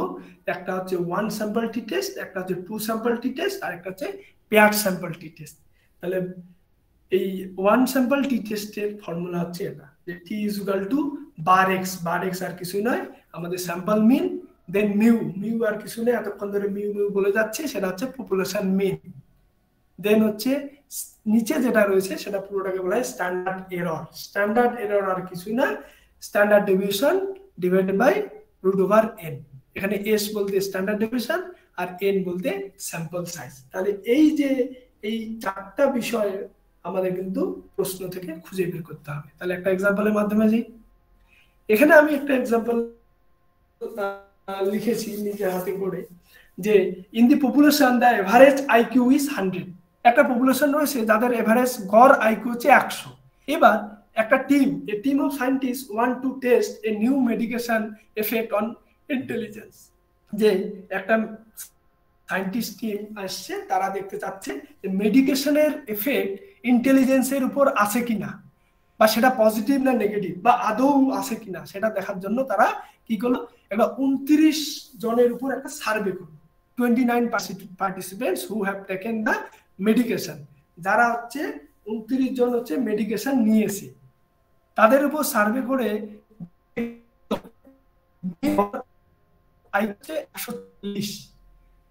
যার স্ট্যান্ডার্ড ডেভিয়েশন হচ্ছে টোয়েন্টি এই হচ্ছে ডেটা এবার প্রশ্ন হচ্ছে did the medication effect intelligence যে সেটা টেস্ট করে দেখাও। এখানে ব্র্যাকেটে আলফা দিয়ে বলা রয়েছে জিরো পয়েন্ট জিরো ফাইভ মানে বুঝে গেলাম যে আমাদের নাইনটি ফাইভ পার্সেন্ট সিগনিফিকেন্টে দেখতে বলছে যে আদৌ আমার এটা সিগনিফিকেন্ট আসছে কিনা। তাহলে আমাদের প্রথম স্টেপ কি? প্রশ্ন ধরে নিতে হবে। নাল হাইপোথিসিস আমরা এই টি টেস্ট বা ওয়ান স্যাম্পল টি টেস্টের ক্ষেত্রে আমরা এরকম ভাবে ধরতে পারি যে H zero colon mu is equal to hundred আমি হান্ড্রেড কেন ধরলাম? আমরা সব সময় পপুলেশন মিনটাকে কারণ পপুলেশন মিন ধরে আমি দেখব যে স্যাম্পলের মিন যেটা আসছে, তার সাথে পপুলেশন মিনের আদৌ সিগনিফিকেন্ট ডিফারেন্স আছে কি না এই জন্য আমি বললাম নালে কি লিখলাম? এরকম লিখতে পারি যে medication did not effect the intelligence কেন মেডিকেশন দিয়ে বলে দিয়েছে did the medication effect intelligence তাহলে আমি নালে বললাম, নাই ডিড নট এফেক্ট দি কোনো প্রভাব নেই। আবার এটাকে এরকম ভাবে আমরা ধরতে পারি। There is no significant difference between two mean আমরা কিন্তু তিন রকম ভাবে নাল হাইপোথিসিস রিপ্রেজেন্ট করতে পারি। একই রকম ভাবে অল্টারনেটিভও করতে পারি। অল্টারনেটিভে এই যে এখন আমি দেখব যে এই সমান mu not equal to hundred এই যে নট ইকুয়াল টু হান্ড্রেড মানে কি? এখানে আমি কি ধরলাম? যে নন ডিরেকশনাল অল্টারনেটিভ হাইপোথিসিস ধরলাম। আমি এখানে যদি ডিরেকশনাল হাইপোথিসিস ধরতাম, তাহলে এরকম হতো গেটার দেন যদি হান্ড্রেড বলতাম, তাহলে অবশ্যই এরকম বোঝাতো যে না স্যাম্পল মিন পপুলেশন মিনের থেকে বেশি হবে। আবার যদি লেস দেন দিয়ে বোঝাতাম লেস দেন হান্ড্রেড তাহলে আমার কি বোঝাবে? যে স্যাম্পল মিন পপুলেশন মিনের থেকে কম হবে। তখন আমার কিন্তু চলে আসতো ওই ওয়ান টেন আর ওয়ান টেল টেস্ট সেটা যদি আমি গেটার দেন দিয়ে নিতাম, বেশি দিয়ে নিতাম, তখন আসতো রাইট টেল টেস্ট আবার লেস দেন দিয়ে যদি নিতাম বা কম দেখাতাম দিচ্ছি যে কম হবে, তখন আমি কিন্তু লেফট কিন্তু তিন রকম ভাবে ডিফাইন করতে পারি।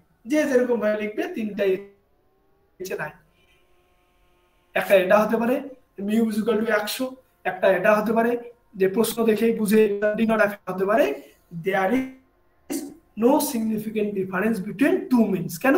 আমরা টি টেস্ট করছি এটার জন্য যে দুটো মিনের মধ্যে আদৌ পার্থক্য রয়েছে কিনা আর সেটা স্ট্যাটিস্টিক্যালি সিগনিফিকেন্ট কিনা। এটাই তো জানার জন্য টি টেস্ট করছি।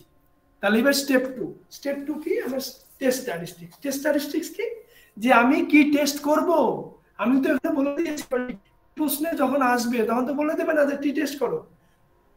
তখন আমাকে দেখতে হবে যে ওই যে প্রশ্ন করলাম, একটু আগে আমরা জানলাম দুটো বিষয় মাথায় রাখতে হবে, একটা নাম্বার স্যাম্পল সাইজ আর একটা হচ্ছে এইচডি স্ট্যান্ডার্ড ডেভিশন তাহলে এখানে দেখতে হবে যে কি কি রয়েছে নাম্বার অফ স্যাম্পল সাইজও রয়েছে স্ট্যান্ডার্ড ডেভিশনও রয়েছে।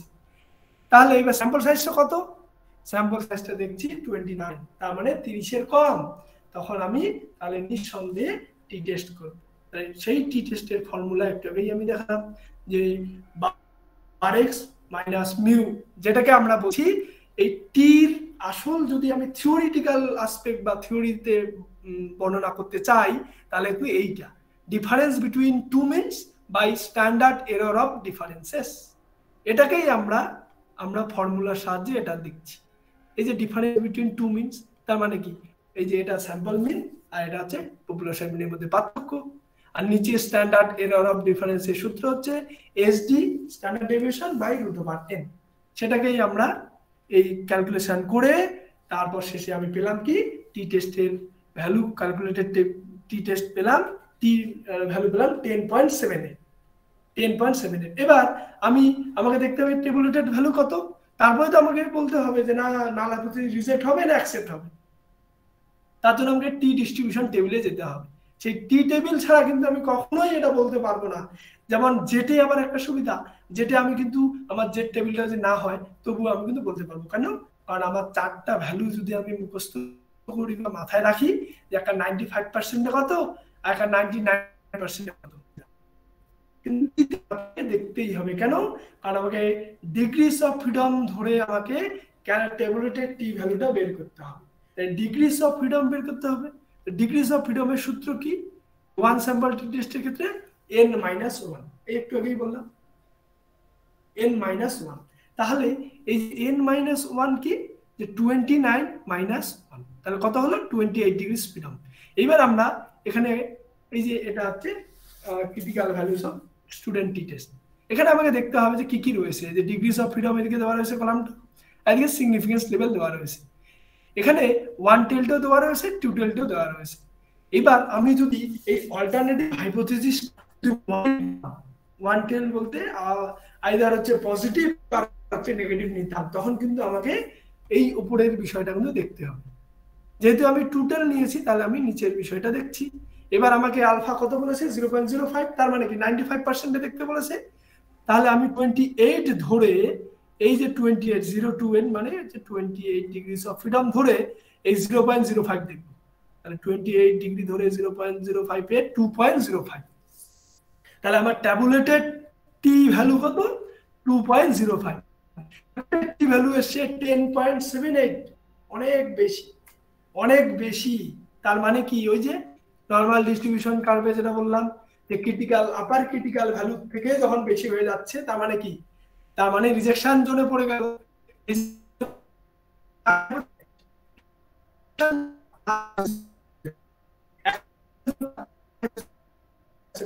এই ভ্যালুটাই এরকম আসতো টু পয়েন্ট জিরো ওয়ান বা ওয়ান পয়েন্ট নাইন এইট বা ওয়ান পয়েন্ট সেভেন এইট তখন কিন্তু দেখতাম যে না ট্যাবুলেটেড টি ভ্যালুর থেকে ক্যালকুলেটেড টি ভ্যালু কম এসছে। তার মানে আমার নাল হাইপোথিসিসটা তখন অ্যাকসেপ্টেড হবে। এখানে কি হলো? এখানে হচ্ছে ক্যালকুলেটেড টি ভ্যালু অনেক বেশি কার থেকে? ট্যাবুলেটেড টি ভ্যালুর থেকে। মানে টেবিলে যে টি ভ্যালুটা রয়েছে, সেটাকে আমরা ট্যাবুলেটেড টি ভ্যালু আর ক্যালকুলেট করে যেটা পেয়েছি, সেটা ক্যালকুলেটেড টি ভ্যালু তার মানে আমি ডিরেক্টলি এবার চলে আসব ডিসিশন রুল ডিসিশন রুল তো আমার মুখস্থ, আমি জানি যে if the calculated value of T is greater than tabulated value of null calculated value যদি ট্যাবুলেটেড ভ্যালু থেকে বেশি হয় রিজেক্ট করব। তাই রিজেক্ট করছি এখানে। তাহলে কনক্লুশনে আমি কি লিখব? কনক্লুশনে এটাই লিখব the calculated value of T is ten point seven eight which is greater than the greater than the tabulated t, that is 2.05 that's why we reject null hypothesis. তাহলে নাল হাইপোথিসিসকে রিজেক্ট করে দিলাম। তাহলে নাল হাইপোথিসিস কি লিখে ধরেছিলাম? Medication did not affect intelligence তাহলে এটা যদি রিজেক্ট হয়, তো alternative hypothesis automatically accept alternative hypothesis বলে দিচ্ছে তাহলে, না মেডিকেশনের এফেক্ট ইন্টেলিজেন্সের উপর আছে। এই যে শেষে আমরা তাহলে এইটাই বললাম যে it can be said that medication significantly affect significantly মানে গুরুত্বপূর্ণভাবে ইন্টেলিজেন্সকে প্রভাবিত করে। এটাই আমার টি টেস্ট হয়ে গেল ওয়ান স্যাম্পল টি টেস্ট একই রকম ভাবে two sample t test two sample t test আর কিছুই না।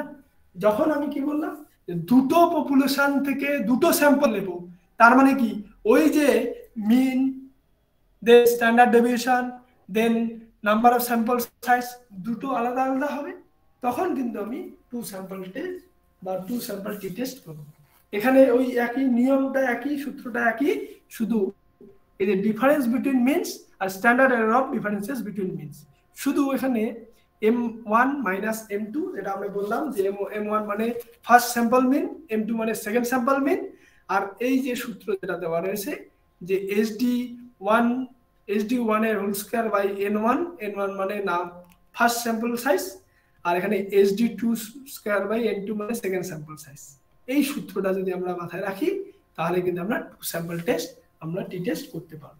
আর এইখানে ডিগ্রিস অফ ফ্রিডম বের করার সময় ওয়ান স্যাম্পলে যেরকম এন মাইনাস ওয়ান করেছি, এখানে কিন্তু সেটা করলে হবে না। এখানে আমাদের N one plus N two minus two করে আমাদের ডিগ্রিস অফ ফ্রিডমটা কিন্তু বের করতে হবে। তাহলে এটা একটা এক্সাম্পলের মাধ্যমে দেখা যাক টু স্যাম্পল টিটে এই যে বললাম যে দুটো পপুলেশন এই যে পপুলেশন ওয়ান আর পপুলেশন টু তাহলে দুটো পপুলেশনের এই যে ডেটাগুলো আলাদা আলাদা? এই যে স্যাম্পল সাইজ এখানে দশ, এখানে বারো। এই যে স্যাম্পল মিন এভারেজ যেটা বলছি, সেটা এম ওয়ান যেটাকে বলছি এখানে, সেটা হচ্ছে কুড়ি আর এখানে সাতাশ। আর পর এসডি হচ্ছে এখানে এইট আর এখানে হচ্ছে সিক্স তো এই যে দুটো ডেটা দেওয়া রয়েছে, কি বলেছে? Is there any significant difference between two means এই যে বলেই দিয়েছে। এই দুটো যে মিন বেরিয়েছে, এই দুটো পপুলেশনের দুটো মিন তাহলে এদের মধ্যে কি কোনো স্ট্যাটিস্টিক্যালি সিগনিফিকেন্ট ডিফারেন্স রয়েছে? এর আগে কি বললাম? আগে শুধু একটাই আর এখানে দুটোর মধ্যে কি পার্থক্য রয়েছে সেইটা নির্দেশ করার জন্য টু স্যাম্পল টি টেস্ট একই রকম প্রসিডিওরই আমাদের একই। Setting of the null and alternative hypothesis তাহলে নাল যদি বলব there is no significant difference between two means তাহলে অল্টারনেটিভ অটোমেটিক্যালি হয়ে যাবে there is significant difference between two means এই সূত্র অনুসারে আমরা এখানে টির ভ্যালু পেয়ে যাব। টির ভ্যালু পেতে গিয়ে দেখছি যে এখানে কি হচ্ছে এই যে মাইনাসে চলে তার মানে ওই যে আমি একটু আগেই বললাম ভ্যালু কি আসছে। ভ্যালু যদি পজিটিভ আসে, তাহলে আমাকে রাইট টেল্টের দিকে দেখতে হবে। ডেটাটা দেখব শুধু। রাইট টেল টেস্ট নয়, এখানে যেহেতু আমরা নাল হাই অল্টারনেটিভ হাইপোথিস তো নন ডিরেকশনাল নিয়েছি এখানে আমরা টোটাল ঠিক এর মধ্যে দেখব যে লেফটের দিকে দেখব, যেটা মাইনাসের দিকে। তাহলে minus two point two eight এসছে আমার ক্যালকুলেটেড টি এইবার আমি তাহলে কি করব? ডিগ্রিজ অফ ফ্রিডম বের করব। ডিগ্রিজ অফ ফ্রিডম বের করে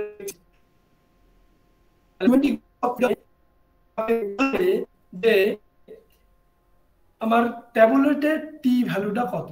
তাহলে টোয়েন্টি ডিগ্রিজ অফ ফ্রিডম হয়েছে টোয়েন্টি এটা তাহলে আমার এসছে এখানে জিরো পয়েন্ট জিরো ফাইভে two point zero nine two point zero nine two point zero nine কি? যেহেতু আমার টি টেস্টের ক্যালকুলেটেড টি টেস্ট টির value minus two point two eight এসছে মাইনাস তার মানে এই ভ্যালুটা বুঝে নিতে হবে যে এটা minus two point zero nine কেন? আমরা ধরুন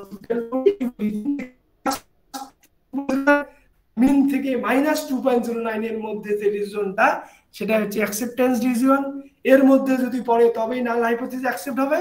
আর এর দুইটার বাইরে যদি যায়, তাহলে আমার নাল হাইপোথিসটা রিজেক্ট হবে। তাহলে আমার মাইনাসে এসছে মাইনাসে দেখতে হবে তাহলে। মাইনাসে কি আসলো তাহলে? যে ইফ ওই ডিসিশন রুল একই জিনিস। If the calculated value of t is greater than tabulated value then reject null hypothesis তাহলে কনক্লুশন আমি কি লিখব? যে আমার ক্যালকুলেটেড ভ্যালু টি যেটা এসছে minus two point two eight যেটা কার থেকে বেশি? ট্যাবুলেটেড ভ্যালুর থেকে বেশি। কেন? ট্যাবুলেটেড ভ্যালু এসছে minus two point zero nine এর থেকে তাহলে আমি একদম কি করব? যে নাল হাইপোথিসিসকে রিজেক্ট করে দেব। আর নাল হাইপোথিসিসকে রিজেক্ট করা মানে কি? অল্টারনেটিভ হাইপোথিসিস আমার অ্যাকসেপ্ট হবে। যার জন্য তখন আমি বলতে পারব যে হ্যাঁ there is significant difference between two means কারণ নাল হাইপোথিসিস রিজেক্ট হয়ে গেল? বাদ তার মানে কি? অল্টারনেটিভ হাইপোথিসিস অ্যাকসেপ্ট হবে। অল্টারনেটিভ হাইপোথিসিস অ্যাকসেপ্ট হওয়া মানে হ্যাঁ যে এই দুটা মিনের মধ্যে এই যে there is significant difference between two means দুটো পপুলেশনের যে মিন বেরিয়েছে হ্যাঁ দুটোর মধ্যে পার্থক্য রয়েছে। এটাই আমি টু স্যাম্পল টি টেস্টের মাধ্যমে বলতে পারি।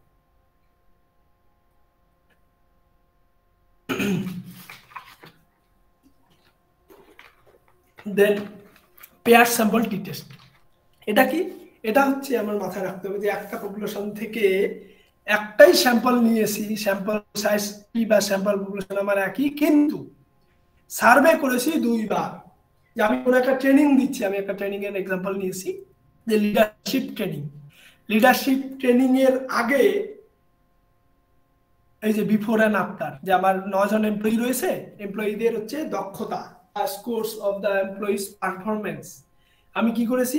ট্রেনিং এর আগে নিয়েছি আর ট্রেনিং এর পরে নিয়েছি। ট্রেনিং এর আগে এরকম ডেটা পেয়েছি বিফোরে টেন ফিফটিন নাইন এরকম আর আফটারে এই পেয়েছি।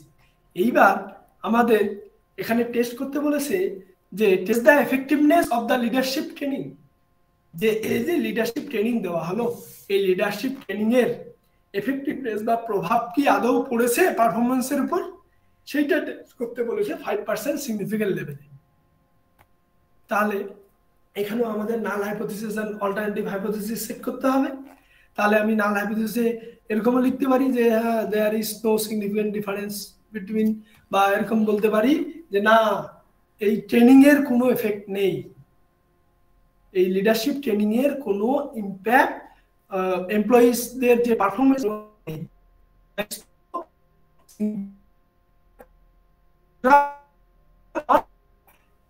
এমপ্লয়িজ পারফরমেন্স এটা একটা নালাপতি হতে পারে। আর অল্টারনেটিভ কি হবে? তাহলে তার উল্টোটা হবে। দেন আমাদের যেটা করতে হবে, এর সূত্রটা একটু জাস্ট আলাদা। এই যে এখানে, এর সূত্রটা হচ্ছে, এই যে এটা হচ্ছে সূত্র। এই পেয়ার স্যাম্পল টেস্টের সূত্র এখানে কি করতে হয়? যে আমরা এখানে কি করি? স্ট্যান্ডার্ড ডিফারেন্স বের করি। এই যে স্ট্যান্ডার্ড ডিভিশন অফ ডিফারেন্সেস বের করি। এর আগে কি করলাম? স্ট্যান্ডার্ড এরর অফ ডিফারেন্স আর এখানে স্ট্যান্ডার্ড ডেভিয়েশন অফ ডিফারেন্সেস বের করতে হবে। তার জন্য তাহলে কি? আমি এমপ্লয়িজকে সাজালাম দেন স্কোরগুলো লিখে নিলাম, একটা বিফোর ট্রেনিং আর একটা আফটার ট্রেনিং সেটাকে একটা এক্স আই ওয়াই আই ধরে নিলাম দেন আবার ডিফারেন্স বের করতে হবে। ডিফারেন্সটা বের করলাম, যেটাকে ডিআই দিয়ে বলছি। ডিফারেন্স কি? এখানে ten minus twelve then minus হলো। দেন আমার ডিআই স্কোয়ার ডিআই স্কোয়ার আমরা জানি যেটা স্কোয়ার অফ ডিফারেন্সেস স্কোয়ার করলে মাইনাস আমার উঠে। সেটা হচ্ছে চার চার চার এরকম আসলো দেন হচ্ছে সাবমিশন করলাম দেন টোয়েন্টি নাইন পেলাম। এইবার প্রথম সূত্র হচ্ছে mean of differences mean of differences আর কিছুই নেই যে সূত্রটা বলা রয়েছে বারডি বের করতে হবে? এই বারডি বের করছি এখানে। বারডি বের করার নিয়ম হচ্ছে summation DI by N summation DI কোথায় পাবো? এই যে summation DI sorry summation DI এটা।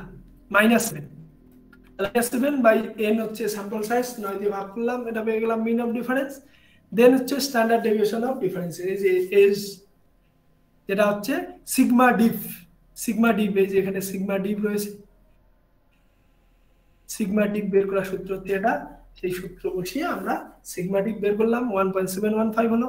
দেন আমাকে ওই টিটা বের করতে হবে। যে আমার এই বার ডি পেয়ে গেছি। আর হচ্ছে সিগমা ডিপ পেয়ে গেছি, তখন আমার bar D minus O. Bar D minus O নয়, এটা sorry bar D minus zero. Then করে আমার টি বেরোলো minus one point three six one. তাহলে এখানেও আমার কি নন ডিরেকশনাল হাইপোথিসিস ছিল? ডিরেকশনাল নেইনি, তার মানে আমাকে এখন ওই ডিগ্রিস অফ ফ্রিডম ধরে আমাকে যেতে হবে টি টেবিলে টি টেবিলে দেখতে হবে যে কোনটা বেশি ক্যালকুলেটেডটা বেশি, না হচ্ছে ট্যাবলেট যদি বেশি হয়, তাহলে আমাদের ওই ডিসিশন রুল একই, যে আমার ক্যালকুলেট যদি বেশি হয়, তাহলে নাল হাইপোথিসিস রিজেক্ট আর হচ্ছে অল্টারনেটিভ হাইপোথিসিস অ্যাকসেপ্ট এখানে দেখছি যে আমার এসছে minus one point three six one যেটা ট্যাবলেটের value minus one point eight six zero তার মানে কি? এর থেকে এটা কম।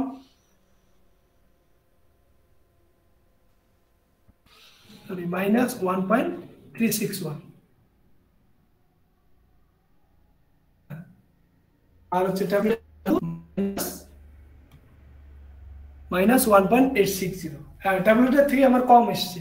ট্যাবলেটের থেকে কম এসছে জন্য আমার অ্যাকসেপ্টেন্স রিজনে কিন্তু পড়ল অ্যাকসেপ্টেন্স রিজন পড়া মানে কি? আমার নাল হাইপোথিসিস অ্যাকসেপ্ট হলো। আর অল্টারনেটিভ হাইপোথিস রিজেক্ট হলো। এইরকম ভাবে কিন্তু আমরা এই তিন ধরনের টি টেস্টটা করতে পারি। একটা হচ্ছে টু স্যাম্পল আর একটা হচ্ছে পেয়ার স্যাম্পল এইবার আমরা সেকেন্ড যে আমাদের রয়েছে প্যারামেট্রিক টেস্ট সেটা হচ্ছে জেড টেস্ট যিনি হচ্ছে যেমন হচ্ছে গসেট হচ্ছে টি টেস্টে ধারণা দিয়েছে, এখানে হচ্ছে ফিশার বলে একজন একই রকম টি টেস্ট যদি আমরা জানি টি টেস্টের যদি ফর্মুলাগুলো মাথায় থাকে, তাহলে কিন্তু আমি জেড টেস্ট অটোমেটিক্যালি খুব সহজভাবে করতে পারব। দুটোর মধ্যে কিন্তু খুব বেশি পার্থক্য নেই। শুধুমাত্র মাথায় রাখতে হবে এই স্যাম্পল সাইজের বিষয়টা। যে ওখানে তিরিশের কম আর এখানে তিরিশ বা তিরিশের বেশি হলে জেড টেস্ট আমরা এটার ক্ষেত্রেও কিন্তু দুটো মিলের মধ্যে আছে কিনা ওই কথাটা গুলোই বলব। এই যে বলাই রয়েছে যে comparison of means of two independent groups of sample যে আমরা এখানে দুটো স্যাম্পেল মিলের মধ্যে আদৌ পার্থক্য রয়েছে কিনা সেটা আমরা স্ট্যাটিস্টিক্যালি রিপ্রেজেন্ট করব। When do we use Z test এক নম্বর sample random then when the samples are taken from population are independent when standard deviation is known when number of observation is large মানে large স্যাম্পলের ক্ষেত্রে আমরা সাধারণত Z test করে থাকি। এই যে দেখেন যে জেড টেস্টের যা সূত্র, ওই একই সূত্র দিয়েই তো আমরা একটু টি টেস্ট করলাম ওয়ান স্যাম্পল টি টেস্ট যেটা। সেটাই হচ্ছে one sample Z test formula একই যা শুধু মাথায় রাখতে হবে, এখানে আমরা ডিগ্রিস অফ ফ্রিডম বের করতে হবে না। যে এর একটা ভ্যালু রয়েছে, এই ভ্যালুটা আমাদের একটু মাথায় রাখতে হবে। ওই একই রকম যে এটা হচ্ছে ninety five percent acceptance zone যেটা, আর এর, এই দুটো হচ্ছে ক্রিটিক্যাল রিজন বা রিজেকশন জোন এই আপার ক্রিটিক্যাল ভ্যালু থেকে যদি বেশি হয় রিজেকশন জোনে পড়ে যাবে আর লোয়ার ক্রিটিক্যাল ভ্যালু থেকে যদি কম হয়, তবুও রিজেকশন জোনে পড়ে যাবে শুধু আমাদের জেটের এই ভ্যালুটা মাথায় রাখতে হবে। ওয়ান পয়েন্ট এখানে বলে দিয়েছি আমি, এই তো। ক্রিটিক্যাল ভ্যালু বা ক্রিটিক্যাল রিজন যদি আমার অল্টারনেটিভ হাইপোথেসিস নন ডিরেকশনাল হয় নন ডিরেকশনাল যেটা আমরা বেশিরভাগ ক্ষেত্রে ইউজ করার চেষ্টা করি বা ইউজ করি নন ডিরেকশনাল আমি যতগুলো করে দেখালাম সবগুলো কিন্তু নন ডিরেকশনাল তো এই ক্ষেত্রে এবার বুঝতে হবে যে সিগনিফিকেন্ট লেভেলটা কত? নাইনটি ফাইভ পার্সেন্টের এই ভ্যালুটা মাথায় রাখতে হবে। ওয়ান পয়েন্ট নাইন সিক্স এই যে আমি এখানে দেখিয়েছি, এই যে ওয়ান পয়েন্ট নাইন সিক্স সেটা plus one point nine six আর minus one point nine six এর মাঝখানে যদি থাকে, তবেই আমি বলব যে নাল হাইপোথিসিস অ্যাকসেপ্টেন্স আর এর বেশি হয়ে গেলে রিজেক্ট এইবার একই রকম ভাবে যদি নাইনটি নাইন পার্সেন্ট বলে, তখন আমার টু পয়েন্ট ফাইভ এইট এই ভ্যালুটা মাথায় রাখতে হবে। যদিও পরীক্ষায় বিশেষ করে গ্রাজুয়েশনের পরীক্ষায় এই জেড টেবিল বা টি টেবিল দেওয়া থাকে এবার যা, যে যেটা বুঝবে, প্রশ্ন বুঝে বুঝতে হবে যে টি টেস্ট করব না জেড টেস্ট করব। টি টেস্ট করলে আমার টি টেবিলটা নিতে হবে আর জেড টেস্ট করলে আমার জেড টেবিলটা নিতে হবে। আবার যদি আমি এই কয়েকটা ভ্যালু মাথায় রাখতে পারি, এই চারটা ভ্যালু তাহলে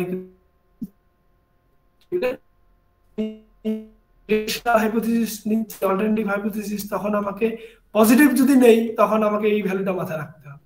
One point six four five আবার যদি নেগেটিভ নেই, তখন আবার ফাইভ পার্সেন্টে এটা মাথায় রাখতে হবে। ওই একই ওয়ান পয়েন্ট সিক্স ফাইভ আর হচ্ছে ওয়ান নাইনটি নাইন পার্সেন্টে টু পয়েন্ট থ্রি থ্রি এখানে টু পয়েন্ট থ্রি থ্রি তাহলে টি টেস্ট আর জেড টেস্টের প্রসিডিওর কিন্তু মোরালেস সেম পুরো একই। তাহলে এবার একটা এক্সাম্পলের মাধ্যমে যদি যাই, যে a random sample of fifty items gives the mean six point two আমি মানে র্যান্ডম স্যাম্পল নিলাম পঞ্চাশটার আইটেমে যার মিন গড় বেরিয়েছে সিক্স পয়েন্ট টু ভ্যারিয়েন্স এই যে বললাম একটু আগেই অনেক সময় স্ট্যান্ডার্ড ডেভিয়েশন প্রশ্নে কিন্তু নাও দিতে পারে। ভ্যারিয়েন্স দেওয়া থাকতে পারে। ভ্যারিয়েন্স দিলে আমাকে যে বললাম যে রুট ওভার ভ্যারিয়েন্স করেই কিন্তু স্ট্যান্ডার্ড ডেভিয়েশন বের করা যেতে পারে। তাহলে আমার অটোমেটিক তাহলে can it be regarded as drawn from a normal population with mean five বলছে যে এই স্যাম্পলটা যে আমি নিলাম পঞ্চাশ জনের, এই স্যাম্পলটাকে কি আমি নর্মাল পপুলেশন বলতে পারি? যে নর্মাল পপুলেশনের গড় হচ্ছে ফাইভ পয়েন্ট ফোর তাহলে স্যাম্পলের বেরিয়েছে সিক্স পয়েন্ট টু আর ফাইভ পয়েন্ট ফোর চোখে দেখেই তো আমি বুঝতে পারছি না মনে হয়। এইবার আমাকে স্ট্যাটিস্টিক্যালি দেখতে হবে at five percent level of significant বলেছে তার মানে কি নাইনটি ফাইভ পার্সেন্ট সিগনিফিকেন্ট লেভেলে আমাকে দেখতে বলেছে। তাহলে দেখি। তাহলে আমার ওই সূত্র একই স্টেপ একই টি টেস্ট আর জেড টেস্টে কিন্তু। যে প্রথমে আমাকে বের করতে হবে যে নাম্বার অফ স্যাম্পল কত। দেন স্যাম্পল মিন বের করতে হবে। দেন পপুলেশন মিন বের করতে হবে। দেন আমার ওই আলফা লেভেল তো দেওয়াই রয়েছে ফাইভ ফাইভ পার্সেন্ট বা নাইনটি ফাইভ পার্সেন্ট সিগনিফিকেন্ট সেটাকে যদি রুট ওভার ভ্যারিয়েন্স করি, তাহলে আমি কিন্তু স্যাম্পল এসডি পেয়ে যাব। Then null hypothesis alternative hypothesis set করতে হবে। আমি একটু আগেই দেখালাম আমরা এরকম ভাবেও বলতে পারি সেট করার সময় কিন্তু পপুলেশন মিনটা মাথায় রাখতে হবে কিন্তু আমাদের। এই যে ফাইভ পয়েন্ট ফোর অনেক সময় এটাতেই ভুল করে যে এই মিউ ইজুকাল টু আমি সিক্স পয়েন্ট টু লিখে দিলাম, সেটা কিন্তু হবে না। কারণ মিউ হচ্ছে পপুলেশন মিন কারণ আমরা স্যাম্পলের উপর ভিত্তি করে শেষে পপুলেশনকে ডিফাইন করি, তাই না? তাহলে এইখানে আমাকে পপুলেশন মিনটাকে কিন্তু মাথায় রাখতে হবে। বা এরকম এরকম যদি আমার কনফিউশন হয়, আমি এগুলো না লিখে আমি সংক্ষেপে সুন্দরভাবে লিখতে পারি there is no significant difference between two means population mean R sample মিনের মধ্যে কোনো পার্থক্য নেই, এটাও লেখা যায় কিন্তু। দেন আমি অল্টারনেটিভ হাইপোথিস সেট করব, আমরা সবসময় চেষ্টা করব নন ডিরেকশনালের দিকেই যেতে। এই যে এখানে বলে দিলাম যে five point four not equal to five point five point four সমান নয়, এর বেশিও হতে পারে, এর কমও হতে পারে। তাহলে এখানে আমি লিখতে পারি there is no significant there is significant difference between two means then আমরা টেস্ট স্ট্যাটিস্টিক্সে যাব। টেস্ট স্ট্যাটিস্টিক্স টি টেস্টের মতোই যে টেস্টের ফর্মুলা ইউজ করব করে আমি জেটের একটা ক্যালকুলেটেড যে ভ্যালু ভ্যালু পাবো। দেন লেভেল অফ সিগনিফিকেন্স যেটা জিরো পয়েন্ট জিরো ফাইভ এই যে টেবিল এই এখানে দেখব যে আমার ভ্যালুটা কত। ভ্যালুটা দেখছি ওয়ান পয়েন্ট নাইন সিক্স এই যে বললাম আমি, এটা আমাদের যদি মাথায় থাকে আমরা এখান থেকেই করতে পারব আমাদের টেবিল না হলেও হবে। তখন আমার ডিসিশন রুল ডিসিশন রুল ওই সেম যে আমার যদি ক্যালকুলেটেড জেড যদি ট্যাবলেটেড জেড থেকে বেশি হয়, তাহলে রিজেক্ট এইট জিরো এই যে তাই লিখেছি। আর যদি ক্যালকুলেটেড জেড যদি কম হয় ট্যাবলেটেড জেড এর থেকে, তাহলে অ্যাকসেপ্ট এইট জিরো দেন আমরা কনক্লুশন টানবো। কনক্লুশনে বলব যে আমার ক্যালকুলেটেড ভ্যালু কি এসছে? ক্যালকুলেটেড ভ্যালু এসছে ওয়ান পয়েন্ট সেভেন সেভেন আর tabulated one point nine six তার মানে কি? কম এসছে? কম আসা মানে অ্যাকসেপ্টেন্স ওর জন্য we accept the H zero therefore এটা আমরা বলতে পারি sample is drawn from the population with mean five point four তার মানে আমি এটা বলতে পারি হ্যাঁ যে এই পপুলেশন থেকে স্যাম্পল নেওয়াটা ঠিক হবে বা স্যাম্পল নিতে পারি। এইরকম ভাবে আমরা ওই টি টেস্টের মতো একই প্রসিডিওরে যে টেস্টও করতে পারি। শুধু আমার মাথায় রাখতে হবে, এই যে স্যাম্পলটা এই যে এখানে ফিফটি আর টি টেস্ট মাথায় রাখতে হবে। এটাই যদি টোয়েন্টি হতো টোয়েন্টি ফাইভ হতো তখন কিন্তু এইটাই আমরা টি টেস্টে করে নিতাম।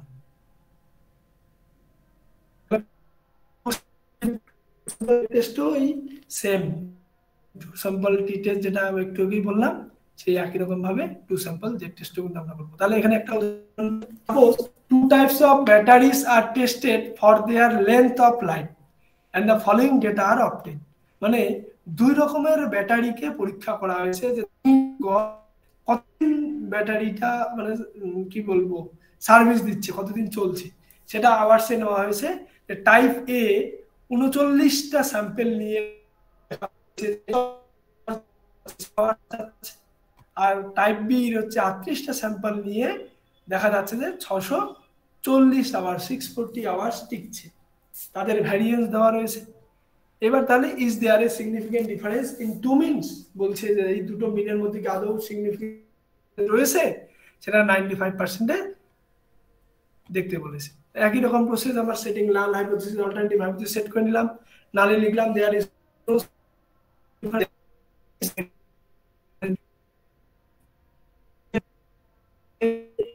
আমরা জেড এর ভ্যালু ক্যালকুলেট করলাম।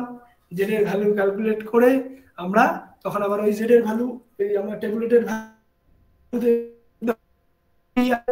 জেড এর ভ্যালুটা পজিটিভ আসছে না নেগেটিভ আসছে, যদি নেগেটিভ মাইনাসে আসে, তখন আমাকে বাঁদিকে দেখতে হবে, ওই লেফট টেল্টের দিকে। সেটা দেখে আমার মান তো জানাই রয়েছে যে নাইনটি ফাইভ পার্সেন্ট হচ্ছে ওয়ান পয়েন্ট নাইন সিক্স এটা প্লাস বা মাইনাস এখানে মাইনাস এসছে, তাহলে মাইনাস দেখব। তাহলে one point minus one point nine six এর থেকে অনেক বেশি minus fifteen point two seven এর জন্য আমরা কি করব? Reject eight zero reject eight zero মানে কি করব? যে এই যে there is no significant difference between mean বলা হয়েছে, এই কথাটা ঠিক নয়। এই কথাটা ঠিক। কোনটা? There is significant difference between two means এখানে দুটো মিন বেরিয়েছে, তার মধ্যে স্ট্যাটিস্টিক্যালি সিগনিফিকেন্ট ডিফারেন্স রয়েছে। মোটামুটি টি টেস্ট আর যে টেস্ট মোটামুটি একই রকমের। আমরা টি টেস্টটা যদি ভালো রকম ভাবে মাথায় থাকে, তাহলে কিন্তু আমরা জেড টেস্ট অটোমেটিক্যালি করতে পারি। এখানে আরেকটা এক্সাম্পল দেওয়া হয়েছে, যে স্যাম্পল এ আর স্যাম্পল বি তাদের হচ্ছে স্যাম্পল সাইজ দেওয়া রয়েছে স্ট্যান্ডার্ড ডেভিয়েশন দেওয়া রয়েছে দেন মিন দেওয়া রয়েছে। দিয়ে আমরা এরকম ভাবে ক্যালকুলেট করেছি, যে স্ট্যাটিস্টিক্স করে শেষে আমরা ডিসিশনে এসেছি। এসে দুটো হচ্ছে আমার টি টেস্ট আর জেড টেস্ট যেটাকে আমরা বলছি প্যারামেট্রিক টেস্ট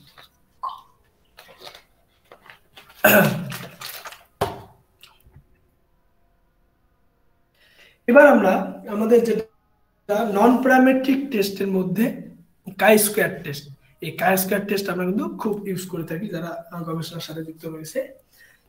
যে নন প্যারামেট্রিক টেস্টের মধ্যে সব থেকে বেশি প্রচলিত বা সব থেকে বেশি ইউজেবল যে এটা কি করে কাই স্কোয়ার টেস্ট এই কাই হচ্ছে যেটাকে এই যে এক্সেল স্কোয়ার মতো দেখতে, এটা হচ্ছে গ্রিক লেটার কাই থেকে এসছে। যেটা হচ্ছে কি করে? যে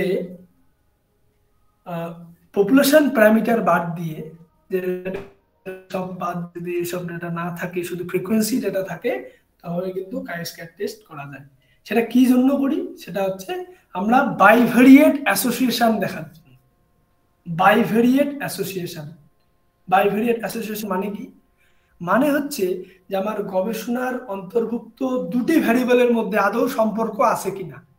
একটা আর একটার সাথে সম্পর্ক যুক্ত কিনা? সেইটা দেখার জন্য কিন্তু আমরা সাধারণত বেশিরভাগ ক্ষেত্রে কাইস্কার টেস্ট করে থাকি।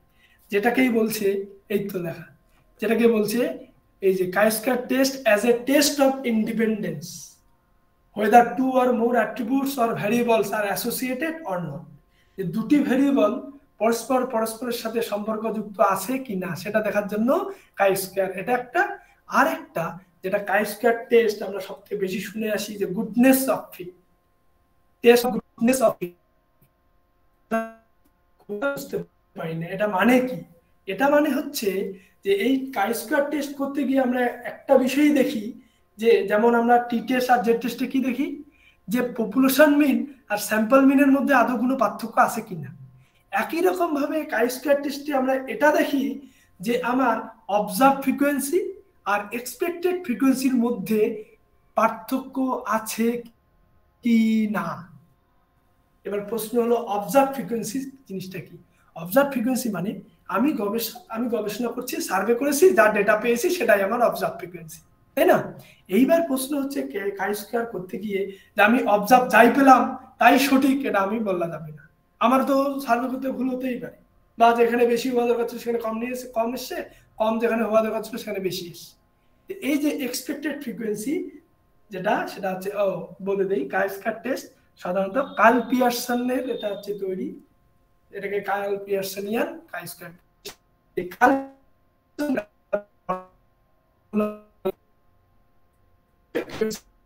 এটা হওয়া দরকার ছিল। হয়েছে কত? হয়েছে এত আর হওয়া কত দরকার ছিল? এই দুটোর মধ্যে পার্থক্যই আমরা কিন্তু আইস্কার টেস্টে বের করে থাকি। এই গুডনেস অফ ফিট এটা একটা, আর একটা হচ্ছে দুটো ভ্যারিয়েবল দুটো ভ্যারিয়েবলের মধ্যে অ্যাসোসিয়েশন আছে কিনা, যেটাকে আমি বললাম বাইভেরিয়েট অ্যাসোসিয়েশন এই দুটো জিনিস কিন্তু আমাদের শুধু মাথায় রাখতে হবে। আমি দুটো বিষয়কে দুটো এক্সাম্পলের মাধ্যমে বোঝানোর চেষ্টা করছি। এই কাই স্কোয়ারের সূত্র হচ্ছে sum of observed minus expected square by expected যেটাকে আমরা সাধারণত ও মাইনাস ই বাই ই বলে থাকি আর কি। ও মানে অবজার্ভ ই মানে এক্সপেক্টেড তাহলে যদি বলে যে কাই স্কোয়ার টেস্ট কোথায় কোথায় ইউজ করি, তাহলে আমরা এটা বলতে পারব। যে একটা হচ্ছে কাই টেস্ট সেটা একটা যে আদৌ দুটি ভ্যারিয়েবল দুটো ভ্যারিয়েবল কি স্বাধীন? স্বাধীন যদি হয়, তার মানে কি? দুটো ভ্যারিয়েবলের স্বাধীন হওয়া মানে কি? দুটোর মধ্যে কোনো সম্পর্ক নেই? তাই না? যদি স্বাধীন না হয়, তখনই বুঝব আচ্ছা দুজনের মধ্যে সম্পর্ক রয়েছে। সেটা একটা টেস্ট করা। আর একটা হচ্ছে গুডনেস অফ ফিট যে অবজার্ভ ফ্রিকোয়েন্সি আর আমার এক্সপেক্টেড ফ্রিকোয়েন্সি গুরুত্বপূর্ণ আমাদের মাথায় রাখতে হবে। একই রকম ভাবে টি টেস্ট আর জেড টেস্ট যেরকম করলাম আমাদের এই কাই স্কোয়ার টেস্টের ক্ষেত্রেও কিছু স্টেপস রয়েছে। সেই স্টেপগুলো আমাদের মাথায় রাখতে হবে। কি স্টেপ যে কাই স্কোয়ার একই রকম ভাবে নাল হাইপোথিসিস আর অল্টারনেটিভ ভাবে সেট করতে হবে। দেন আমাদের যেটা করতে হবে এখানে এই স্কোয়ারে মাথায় রাখতে হবে একটা ক্রস ট্যাবুলেশন অবজারভেশন যেটাকে বলা হয়, আমি একটু পরেই দেখাচ্ছি এখানে এই কন্টিজেন্সি টেবিল এই কন্টিজেন্সি টেবিল আমাদের কিন্তু এখানে তৈরি করতে হবে। দেন আমাদের calculate the observed and expected values কারণ অবজার্ভ তো আমি পেয়ে যাচ্ছি সার্ভে থেকে সার্ভে ডাটা দেন অবজার্ভের একটা টেবিল বানাবো দেন এক্সপেক্টেড টেবিল বানাবো। এক্সপেক্টেড টেবিল বানাবো এক্সপেক্টেড ভ্যালু দিয়ে। এই যে এক্সপেক্টেড ফ্রিকোয়েন্সি বের করার সূত্র হচ্ছে এটা। Expected frequency is equal to row total into column total by divided by n, number of sample observation sample বা observation এই সূত্র প্রয়োগ করলে আমরা কিন্তু এক্সপেক্টেড ভ্যালুটা পেয়ে যাব। তখন আমি দেখব আচ্ছা আমার অবজার্ভ এত এসছে আর এক্সপেক্টেড এত এসছে। তখন আমি ডিফারেন্সটা বের করব। ডিফারেন্স বের করে দেখব যে কাইয়ের ভ্যালুটা কত এসছে। কাইয়ের ভ্যালু সাধারণত বলা হয় যে যদি কাইয়ের ভ্যালু বেশি আসে, তার মানে এটা বোঝায় যে তার সম্পর্কটা বেশি ভালো। If calculated chi value is greater than tabulated value sorry এটা মানে কাইয়ের ভ্যালু যদি বেশি আসে, তার মানে সিগনিফিকেন্ট সিগনিফিকেন্টলি অ্যাসোসিয়েটেড আর যদি কম আসে, তাহলে অ্যাসোসিয়েশনটা বা সম্পর্কটা কম। আমরা সাধারণত রিসার্চের ক্ষেত্রে এটা বলে থাকি। দেন ওই একই রকম calculate the degrees of freedom degrees of freedom হচ্ছে আমার কলামস টোটাল যে কলাম সংখ্যা রয়েছে, সেটা মাইনাস ওয়ান ইন্টু টোটাল যে রো সংখ্যা রয়েছে, সেটা মাইনাস ওয়ান করেই আমি কিন্তু ডিগ্রিস অফ ফ্রিডম পেয়ে যাব। আমরা তাহলে ডিগ্রিস অফ ফ্রিডম টি টেস্টের ওয়ান স্যাম্পল টি টেস্টে বের করলাম কাউন্ট করে? N minus one then two স্যাম্পলের ক্ষেত্রে কাউন্ট করে বের করলাম N one plus N two minus two আবার কাই স্কোয়ারের ক্ষেত্রে ডিগ্রিজ অফ ফ্রিডমের সূত্রটা কিন্তু আলাদা total number of columns minus one into total number of rows minus one then আমরা কি করব? আমাদের সিগনিফিকেন্ট লেভেল যেটা বলা থাকবে, সেই সিগনিফিকেন্ট লেভেল অনুসারে আমরা কাই এর যে টেবিল রয়েছে, সেই টেবিলে দেখব কাই স্কোয়ারের ভ্যালু কত। দেন আমরা করব? ক্যালকুলেট করে শেষে আমরা ডিসিশনে আসব যে আমার নাল হাইপোথিসিস রিজেক্ট হবে না অ্যাকসেপ্টেড হবে। এই কন্টিজেন্সি টেবিল যেটাকে আমরা বলি মেট্রিক্স টেবিল টাইপ এটা হচ্ছে যেমন two rows and two columns table তাহলে আমার ডিগ্রিজ অফ ফ্রিডম কত হবে? এই যে দুটা রো রো এক রো দুই, তাহলে এখানে যদি তিনটা রো হতো, তাহলে এখানে থ্রি মাইনাস ওয়ান হতো। এখানে যদি চারটা রো হতো, তাহলে ফোর মাইনাস ওয়ান হতো।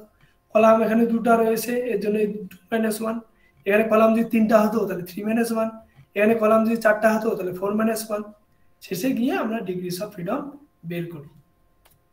তাহলে একটা, দুটো এক্সাম্পল নেওয়া যাক। একটা হচ্ছে টেস্ট অফ ইন্ডিপেন্ডেন্সের ক্ষেত্রে, যেটাতে বাইভেরিয়েট অ্যাসোসিয়েশন দেখব আমরা। তার মানে দুটি ভ্যারিয়েবলের মধ্যে সম্পর্ক আছে কিনা, আর সেটা সম্পর্কযুক্ত কিনা। আর একটা হচ্ছে test of goodness of fit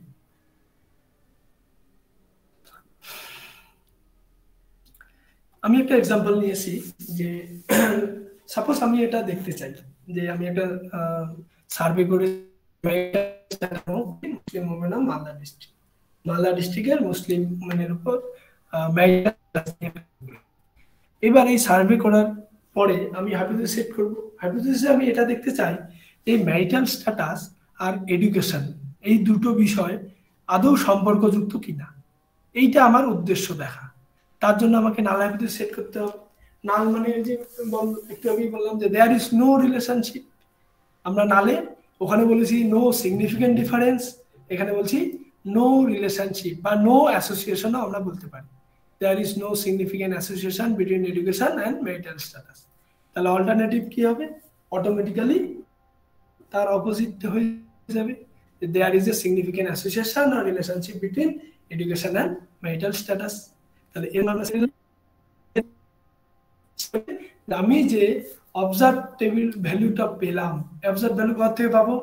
আমি সার্ভে করেছি সার্ভে করে আমি একটা এই যে এরকম ম্যাট্রিক্স টেবিল তৈরি করেছি। একদিকে ম্যারিটাল স্ট্যাটাস নিলাম ম্যারিটাল স্ট্যাটাসের আমি চারটা হচ্ছে শ্রেণীভাগে ভাগ করেছি।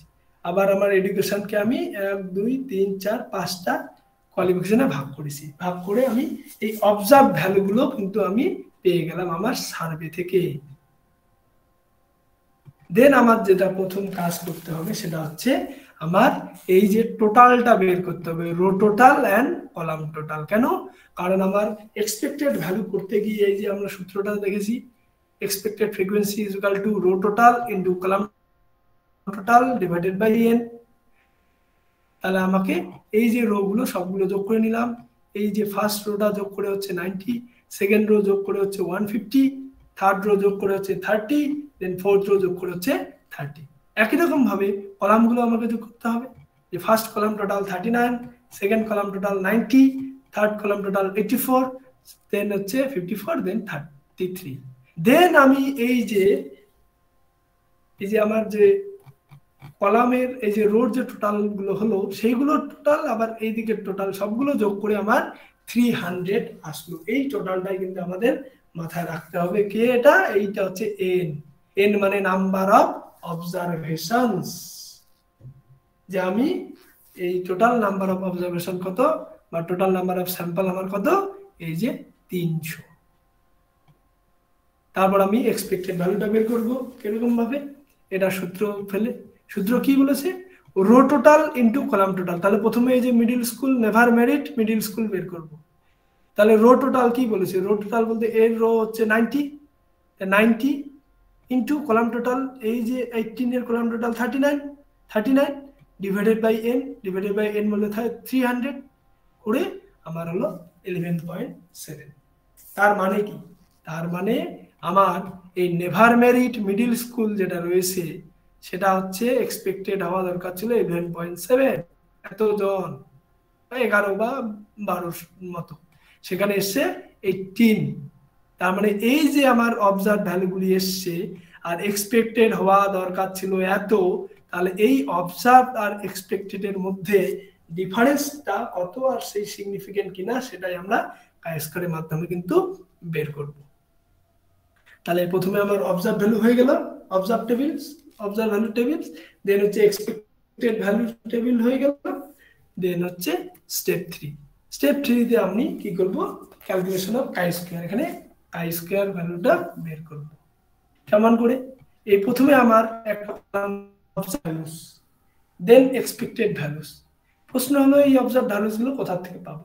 এই যে আমি সার্ভে করে যে টেবিলটা বানালাম, এগুলোই আমার অবজার্ভ ভ্যালু এইবার প্রশ্ন হচ্ছে আমি কোন কেমন করে নেব? কোন দিক থেকে নেব? প্রথমে এইটিন তারপর টুয়েলভ এরকম নেব? না, প্রথমে eighteen then thirty six then twenty nine then nine then six এরকম ভাবে নেব। সাধারণত নিয়ম হচ্ছে যে ফ্লোর ধরে ধরে আমাদের অবজার্ভ ভ্যালুগুলো নিতে হবে। তাহলে প্রথমে eighteen then thirty six then twenty nine then nine then six then twelve then thirty six then forty five এরকম ভাবে নিতে নিতে এরকম ভাবে দিয়ে তাহলে আমার অবজার্ভ ভ্যালু চলে আসলো। অবজার্ভ ভ্যালু এতগুলো হলো। Then expected value expected value কি? আমি এই যে ইলেভেন পয়েন্ট সেভেন প্রথমে then twenty seven then twenty five point two then sixteen point two then nine point nine এরকম ভাবে আমি এক্সপেক্টেড ভ্যালুগুলো কিন্তু বসিয়ে দিলাম। দেন আমাকে কি করতে হবে? যেই অবজার্ভ আর এক্সপেক্টেড এর মধ্যে পার্থক্য বা ডিফারেন্সটা বের করতে হবে। ডিফারেন্সটা যখন বের করব তখন কি? ও মাইনাস ই ও মাইনাস ই মানে এখানে eighteen minus eleven point seven এরকম ভাবে বের করলাম then thirty six minus twenty seven nine বের করলাম then twenty one minus twenty five point two minus four point two বের ডিফারেন্স বেরিয়ে গেল। যেগুলোতে পজিটিভ এসছে সেগুলো পজিটিভ আর যেগুলোতে নেগেটিভ এসছে, সেগুলোতে নেগেটিভ এবার ও মাইনাস ই যেটা রয়েছে ডিফারেন্সটা বেরোলো সেটা স্কোয়ার অফ ডিফারেন্স করে দিলাম। Square of difference means zero O minus ইর হোল স্কোয়ার তাহলে এই যে six point three six point three তার স্কোয়ার করলে thirty nine point six eighty one এই minus four point two square করলে plus seventeen point six four এইরকম ভাবে আমি স্কোয়ার অফ ডিফারেন্স করে দিলাম। দেন আমার শেষের যে কাই কাই স্কোয়ারের ভ্যালুটা বেরোবে, সেটা হচ্ছে আমার যে ইর যে স্কোয়ার বেরোলো হোল স্কোয়ার যে এটা বেরোলো তাকে এক্সপেক্টেড দিয়ে ভাগ। তার মানে এই যে thirty nine point six nine এর এক্সপেক্টেড কত? এর এক্সপেক্টেড হচ্ছে এই যে তাহলে ইলেভেন পয়েন্ট সেভেন দিয়ে থার্টি নাইন পয়েন্ট সিক্স নাইনকে ভাগ করলে three point three nine then eighty ওয়ানকে যদি আমি টোয়েন্টি সেভেন দিয়ে ডিভাইড করি, তাহলে আমরা পাবো এইরকম ভাবে আমি শেষের ও ই যে হোল স্কোয়ার বাই ই সেটা পেয়ে গেলাম।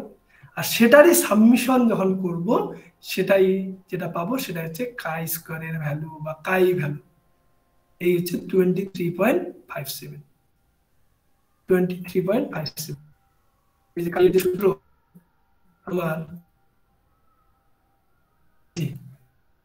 সাবমিশন করেছি O minus E whole square by E তার সাবমিশন করে যেটা পাই, সেটা হচ্ছে আমার আই স্কোয়ারের ভ্যালু তাহলে এখানে কত বললাম? Twenty three point five seven এবার আমাকে দেখতে হবে ডিগ্রিজ অফ ফ্রিডম ধরে আমার টেবিলটা দেখতে হবে। ডিগ্রিজ অফ ফ্রিডমের সূত্র হচ্ছে এখানে টোটাল রো মাইনাস ওয়ান তাই টোটাল রো আমাকে গুনতে হবে। টোটাল রো কত? এক, দুই, তিন, চার। তাহলে আমি টোটাল রো চার, কলাম কটা? কলাম গুনতে হবে। কলাম বলতে এক, দুই, তিন, চার, পাঁচ। তাহলে five then four minus one into five minus one তাহলে three into four that is twelve degrees of freedom তাহলে ডিগ্রিস অফ ফ্রিডমে গিয়ে টুয়েলভ সেই টুয়েলভ ডিগ্রিস অফ ফ্রিডমে গিয়ে দেখতে হবে যে আমার ট্যাবলেটের ভ্যালুটা কত রয়েছে। তাহলে কাইয়ের টেবিল থেকে আমি পেয়ে যাব। তাহলে আমি দেখব কত? টুয়েলভ টুয়েলভ ডিগ্রিস অফ ফ্রিডমের জিরো পয়েন্ট জিরো ফাইভ বলেছে যেহেতু, তাহলে জিরো পয়েন্ট জিরো ফাইভ দেখব। সেটা আছে twenty one point zero two six বলেছে twenty one point zero two six তার তাহলে আমি সেটা লিখে নিলাম। এবার আমাকে ডিসিশন রুল ডিসিশন রুল একই জিনিস যে যখন ক্যালকুলেটেড ভ্যালু ট্যাবলেটের ভ্যালুর থেকে বেশি হবে, তাহলে reject eight zero null hypothesis আমার রিজেক্ট হবে। তাহলে আমি লিখলাম calculated value twenty three point five seven এসছে tabulated value twenty one point zero three এসছে। তাহলে আমার কি হচ্ছে? ক্যালকুলেটেড ভ্যালু ট্যাবলেটেড ভ্যালুর থেকে বেশি এসছে, একুশ, আর হচ্ছে বেশি এসছে। তখন আমি রিজেক্ট নাল হাইপোথিসিস করে দিলাম। তখন আমি কি বলব তাহলে কনক্লুশনে যে নাল হাইপোথিসিসে কি বলেছিলি there is no significant relationship তাহলে সেটা যদি রিজেক্ট হয়, তাহলে অল্টারনেটিভটা অ্যাকসেপ্ট হবে। অল্টারনেটিভ তাহলে হবে there is a significant relationship or association between education and marital status এবং the Muslim women of Malda district এই হচ্ছে আমাদের হাই স্কুলের মাধ্যমে কি দেখলাম? আমি জানতে চাইলাম যে এডুকেশন আর ম্যারিটাল স্ট্যাটাসের মধ্যে আদৌ সম্পর্ক আছে কিনা? সেটা আমি শেষে টেস্ট করে বুঝে গেলাম যে হ্যাঁ এডুকেশন অ্যান্ড ম্যারিটাল স্ট্যাটাসের মধ্যে আছে। এই হচ্ছে আমাদের যেটা হচ্ছে টেস্ট অফ ইন্ডিপেন্ডেন্স তার মানে এখানে কি বলব? যে দুটো ভ্যারিয়েবল ইন্ডিপেন্ডেন্ট ইন্ডিপেন্ডেন্ট নয়। দুটো ভ্যারিয়েবল ডিপেন্ডেন্ট একজন আরেকজনের উপর ডিপেন্ডেন্ট এখানে আরেকটা বিষয় বলতে হবে যে কাই স্কোয়ার ভ্যালু কিন্তু কখনোই মাইনাসে আসে না। এটা কিন্তু মাথায় রাখতে হবে। কাই স্কোয়ার ভ্যালু কখনোই মাইনাসে আসে না। আর কাই স্কোয়ার ভ্যালু যদি জিরো আসে, তার মানে এটা বোঝাবে যে অবজার্ভ ফ্রিকোয়েন্সি আর এক্সপেক্টেড ফ্রিকোয়েন্সির মধ্যে কোনো পার্থক্য নেই। মানে খাপে খাপ মিলে যাবে আর কি। এই যে আমার ফ্রিকোয়েন্সি পেয়েছি হ্যাঁ আমার এক্সপেক্টেড ফ্রিকোয়েন্সি তো একই এসছে। আমি হিসাব করে দেখছি যে এখানে আঠারো এসছে এখানে ছত্রিশ এসছে এখানে একুশ এসছে, তাহলে এরকম যদি হয়, তবে কিন্তু আমি কাই ভ্যালু জিরো পাবো। যদিও সেটা বাস্তব ক্ষেত্রে হয় না, এটা কিন্তু আমাদের মাথায় রাখতে হবে। তাহলে এবার আসি example of test of goodness of fit test of goodness of fit এটার মাধ্যমে কি দেখি? যে আমি, এটার মাধ্যমে আমরা দেখি যে অবজার্ভ ফ্রিকোয়েন্সি আর এক্সপেক্টেড ফ্রিকোয়েন্সির মধ্যে আদৌ সিগনিফিকেন্ট ডিফারেন্স আছে কি না তাহলে এখানে একটা উদাহরণ নিয়েছি এরকম যে a dice was thrown sixty times with the following result. যে একটা লুডুর ছক্কা সেটাকে যে ষাট বার হচ্ছে আমি এরকম ভাবে লুডু যে আমরা খেলি, ষাট বার এরকম ঝাঁকিয়ে ফেললাম।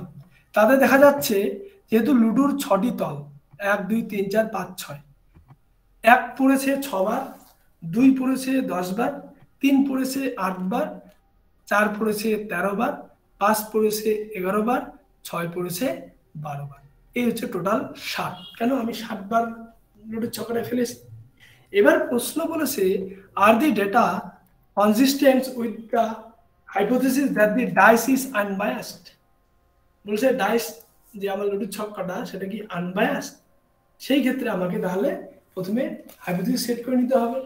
হাইপোথিসিস কি? তাহলে আমি বললাম হাইপোথিসিস এখানে এটাও লিখতে পারি, যে ডাইস ইজ আনবায়াসড বা ওই যে আমরা লিখতে পারি there is no significant difference between observe frequency and and expected frequency আমরা কিন্তু এখানে এটা লিখতে পারি, যে আমার অবজার্ভ ফ্রিকোয়েন্সি আর এক্সপেক্টেড ফ্রিকোয়েন্সির মধ্যে কোনো পার্থক্য নেই। তাহলে অল্টারনেটিভ হাইপোথিসিস উল্টো হয়ে যাবে, যে অবজার্ভ ফ্রিকোয়েন্সি আর এক্সপেক্টেড ফ্রিকোয়েন্সির মধ্যে পার্থক্য রয়েছে। এইবার এই রকম ক্ষেত্রে আমাদের কিন্তু মাথায় রাখতে হবে।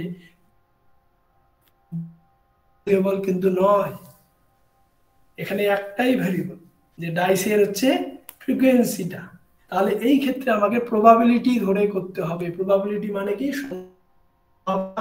প্রবাবিলিটি বলতে সম্ভাবনা। সাপোজ আমি একটা কয়েন নিলাম কয়েনকে ওপরে ছুড়লাম। ছুড়ে আমি ধরতে পারি যে হ্যাঁ হেডও পড়তে পারে টেলও পড়তে পারে। তার মানে কি?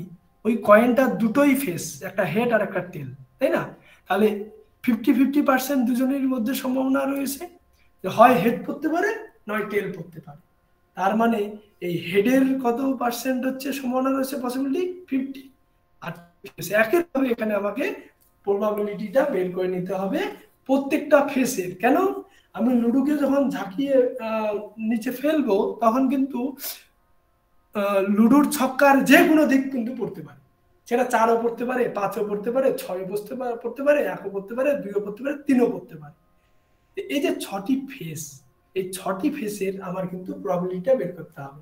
তাহলে আমি কতবার? ষাট বার সিক্সটি তাহলে সেই সিক্সটিকে যদি আমি ছয় দিয়ে ডিভাইড হ্যাঁ প্রত্যেকটা ফেসে অ্যাটলিস্ট দশ বার হচ্ছে করে পড়ার চান্স রয়েছে। ছয় দুশো ষাট। ওই যে আমি বললাম যে একটি কয়েনকে দুবার আমি যদি একশো বার করি, একশো বার করি তাহলে পঞ্চাশ বার হেড আসতে পারে আর পঞ্চাশ বার টেল আসতে পারে, তাই না? তার মানে কি? একশো ডিভাইডেড সেখানে বের করা হলো। একই রকম ভাবে এখানেও যেহেতু একটা লুডুর ছক্কা ছটি দিক, সেই ছয় দিয়ে যতবার আমি লুডুর ছক্কাকে ফেলেছি, সেই সংখ্যাকে ডিভাইড করলে আমি কিন্তু প্রবাবিলিটিটা পেয়ে যাব। এই সিক্সটি টাইমস তাহলে sixty times sixty divided by six that means ten for each এই যে বলছি ওর জন্যই যে the expected frequency one by six into sixty that is ten for each প্রত্যেকটা ফেসের দশ বার করে পড়ার প্রবাবিলিটি রয়েছে। প্রবাবিলিটি হচ্ছে সম্ভাবনা। সকলেরই সম্ভাবনা রয়েছে, ছয়টা ফেসিটি রয়েছে। সেটা বের করে নিলাম। এইবার আমার তাহলে কি পেয়ে গেলাম? আমি অবজার্ভ এটা পেয়েছি, এক পড়েছে ছয় বার, যেখানে দশ বার পড়ার কথা ছিল। দুই পড়েছে দশ বার হ্যাঁ দুই একটা ঠিকই রয়েছে। তিন পড়েছে আট বার, তার মানে দশ হওয়ার কথা ছিল দুইবার কম পড়েছে। তারপর চার হচ্ছে দশ হওয়ার কথা ছিল, তেরো বার দেখা দিয়েছে চার।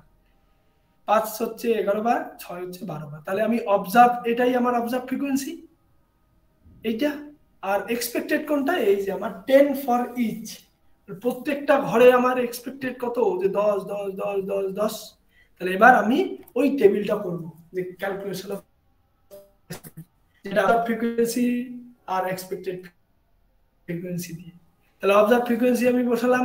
এই যে ফেস ধরে ধরে প্রথমে six then ten then eight then thirteen then eleven then twelve then হচ্ছে এক্সপেক্টেড ফ্রিকোয়েন্সি এক্সপেক্টেড ফ্রিকোয়েন্সি আমি এখানে কীরকম ফর ইচ তাহলে দশ প্রত্যেকটা ঘরে লিখলাম। এইবার আমার ডিফারেন্স বের করতে হবে।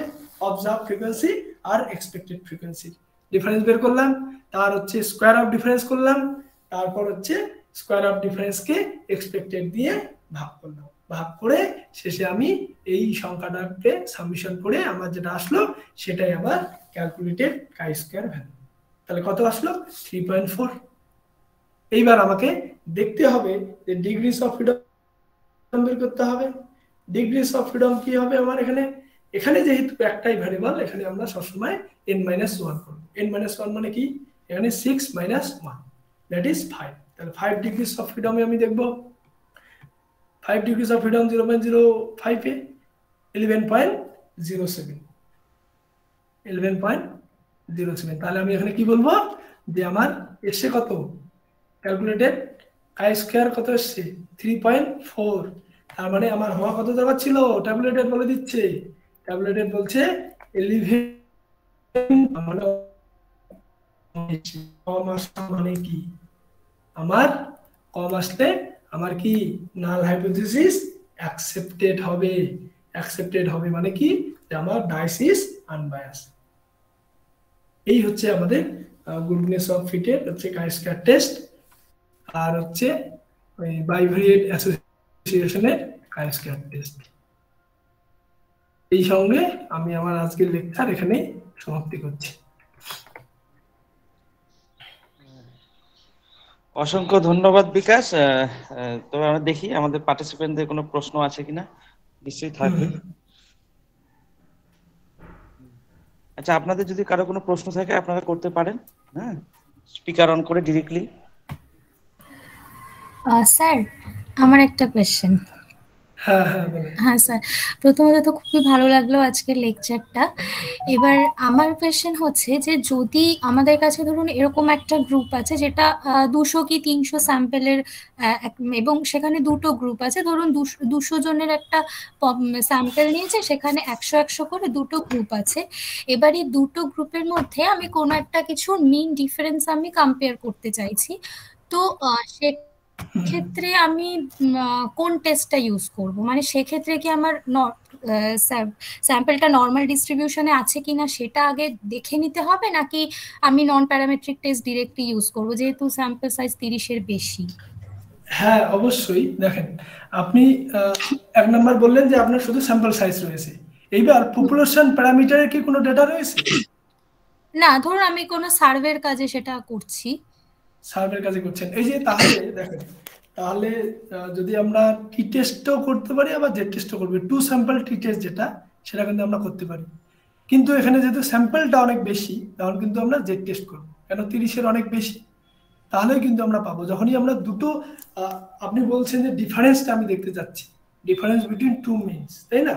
এইবার যদি এরকম ভাবেন যে আমি, এই যে আমি এডুকেশনাল ম্যারিটাসের আলাদার ক্ষেত্রে দেখতে চাচ্ছি, আবার অন্য একটা জায়গার ক্ষেত্রেও দেখতে যাচ্ছি এখানে দুইশো জনের নিয়েছি, এখানে দুইশো জনের নিয়েছি। আপনার উপর নির্ভর করবে আপনি কি দেখতে চাচ্ছেন। তার উপর ভিত্তি করে কিন্তু টেস্ট টেস্ট স্ট্যাটিস্টিক্সটা ধরতে হবে। আপনি যদি বলেন, একটু আগে বললাম যে আপনি একই জায়গার একই জায়গার দুটো পপুলেশন থেকে দুটো স্যাম্পল নিচ্ছেন। তারপরে তো আপনি, এদের মিন অবশ্যই মিন তো একটা আসবে মিন ভ্যালু তো আসবে। শেষে তো আমরা সবকিছুই আমরা কি বলি? স্যাম্পলের মাধ্যমে শেষে কি বলি? স্যাম্পলের এত পার্সেন্ট স্যাম্পল দেখেছি যে এই এই, তার উপর ভিত্তি করে বলছি হ্যাঁ মালদার হচ্ছে এত হচ্ছে চাইল্ড ম্যারেজ তাই না? তাহলে আপনি যদি এই উদ্দেশ্য থাকে, তাহলে অবশ্যই আপনাকে টেস্ট যেটা আবার দেখতে হবে যে স্যাম্পল সাইজটা কত। আর যদি আপনার উদ্দেশ্য ওরকম থাকে যে দুটো স্থানের মধ্যে দেখতে চাই এডুকেশন আর ম্যারেজের মধ্যে পার্থক্য আছে কিনা? একটাতে দেখা যাচ্ছে যে হ্যাঁ এডুকেশন আর ম্যারেজের মধ্যে সম্পর্ক রয়েছে, আর একটাতে দেখা যাচ্ছে যে একদমই নেই। সেই ক্ষেত্রে কিন্তু আপনাকে আবার নন প্যারামেট্রিক টেস্টে যেতে হবে যেটা হচ্ছে কাই স্ক্যান টেস্ট আচ্ছা তাহলে স্যার আমাদেরকে কি কোনো স্ট্যাটিস্টিক্যাল টেস্ট শুরু করার আগে ওটা নর্মাল ডিস্ট্রিবিউশনে আছে কিনা পপুলেশনটা সেটা কি আমাদের দেখে নেওয়াটা ম্যান্ডেটরি সেটা দেখে দেখে নিলে তো খুবই ভালো যে আমরা যদি যেটা জানি যে মিন মিডিয়ান মোড এই যে স্ট্যান্ডার্ড ডেভিয়েশন ওই বিষয়গুলো যদি আমরা ক্যালকুলেট করে নিতে পারি তাহলে তো হয়ে গেল। আমি পপুলেশন প্যারামিটার পেয়ে গেলাম। আর পপুলেশন প্যারামিটার পাওয়া মানে কি? আমি তখন অবশ্যই এই প্যারামেট্রিক টেস্টের দিকেই যাব। সেটা আবার স্যাম্পল সাইজ দেখে আমি টি টেস্ট বা জেড টেস্ট আমি করতে করে নিতে পারব। আচ্ছা আচ্ছা। তো যেহেতু পপুলেশনটা লার্জ তাই আমার জেড টেস্ট করাটাই তবে আরেকটা বিষয় বলি এখানে বলি।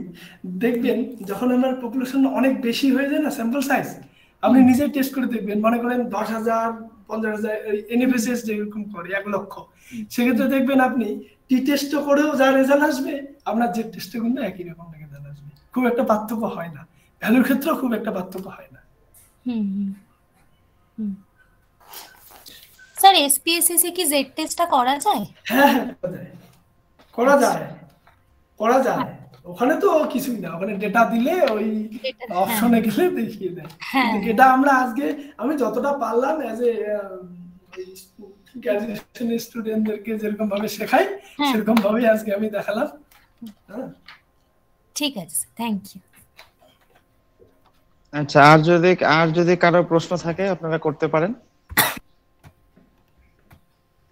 হিরণময়? একজন প্রশ্ন জিজ্ঞাসা করেছে মিঠুন হিরণময় হ্যাঁ। Why n minus 1 used not n minus 2 হ্যাঁ হিরণময় হ্যাঁ স্যার নেটওয়ার্কটা ডিস্টার্ব দিচ্ছে হ্যাঁ বলুন। হ্যাঁ প্রশ্নটা কর। হ্যাঁ। স্যারকে স্যারকে প্রশ্ন কর।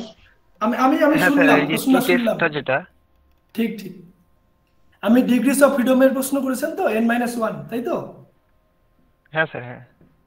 ওই ডিগ্রিস অফ ফ্রিডমে আমি ওটাই বললাম যে সূত্রটা বা এন মাইনাস ওয়ান কখন করব n one plus n one plus n two minus two কখন করব, এটা মাথায় রাখতে হবে যে এক নাম্বার হচ্ছে ওয়ান স্যাম্পল আর টু স্যাম্পল এটা তো মাথায় অবশ্যই রাখতে হবে। এবার এন মাইনাস ওয়ান কেন করব একটু আগে বোঝালাম, তাই বলছি।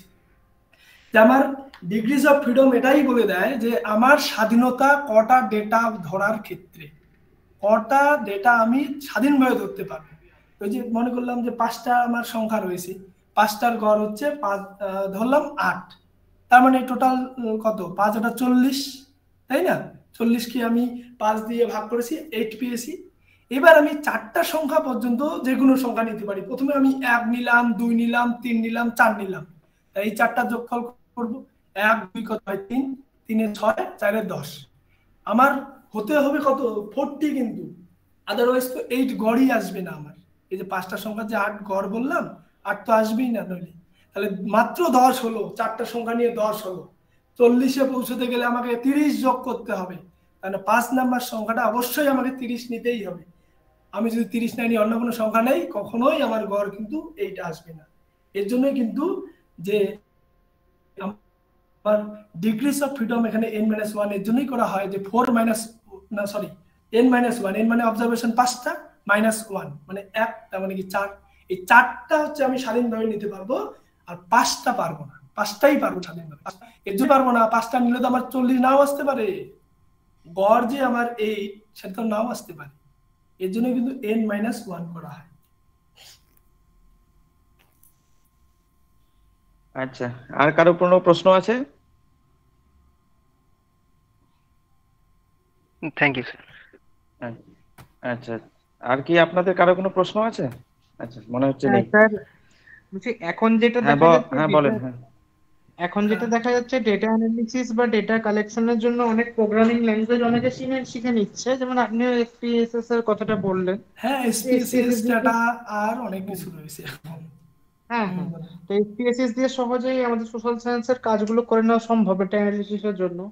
তো স্যার এটা কি আলাদা করে শিখতে হবে? শোনেন মানে ধরুন যাদের কোনো এক মিনিট স্যার যাদের কোনো। টেকনিক্যাল ব্যাকগ্রাউন্ড নেই এমনি মানে ইঞ্জিনিয়ারিং এর স্টুডেন্ট নয় বা physics chemistry math biology background থেকে এসছে তাহলে এসপিএসএস কি আলাদা বা প্রোগ্রামিংগুলো কি আলাদা করে শিখতে হবে যদি কোনো প্রোগ্রামিং ব্যাকগ্রাউন্ড না থাকে? সেটা কি একটু কঠিন হবে? কঠিন বললে ভুল হবে। কঠিন এখন কোনো কিছুই নয়। যদি কেউ শিখতে চায় সবই শিখতে পারবে। এখন আবার ইউটিউব অনেক সহজ করে দিয়েছে। আপনি যে কোনো কিছু শিখতে চান শিখতে পারবেন। কিন্তু তার আগে আমার মনে হয় আপনি তো সফটওয়্যারে ডেটা দেবেন ও একটা রেজাল্ট দিয়ে দেবে কিন্তু রেজাল্টটাকে হ্যাঁ। এই যে অ্যানালাইসিস যে করাটা সেটা কিন্তু খুব গুরুত্বপূর্ণ বিষয়। আজকে হয়তো আমি বলছি যে হ্যাঁ আমি স্টুডেন্টদেরকে এগুলো শেখাই জন্য আমি হ্যাঁ মোটামুটি এতদিন পরে জানলাম। এর আগে আমিও না জেনেই করে দিয়েছি কাই স্কোয়ার টেস্ট এসপিএসএস এ হ্যাঁ কিন্তু আমি মানুষকে এই যে এক্সপ্লেনেশনটা সেইটা কিন্তু করতে পারিনি।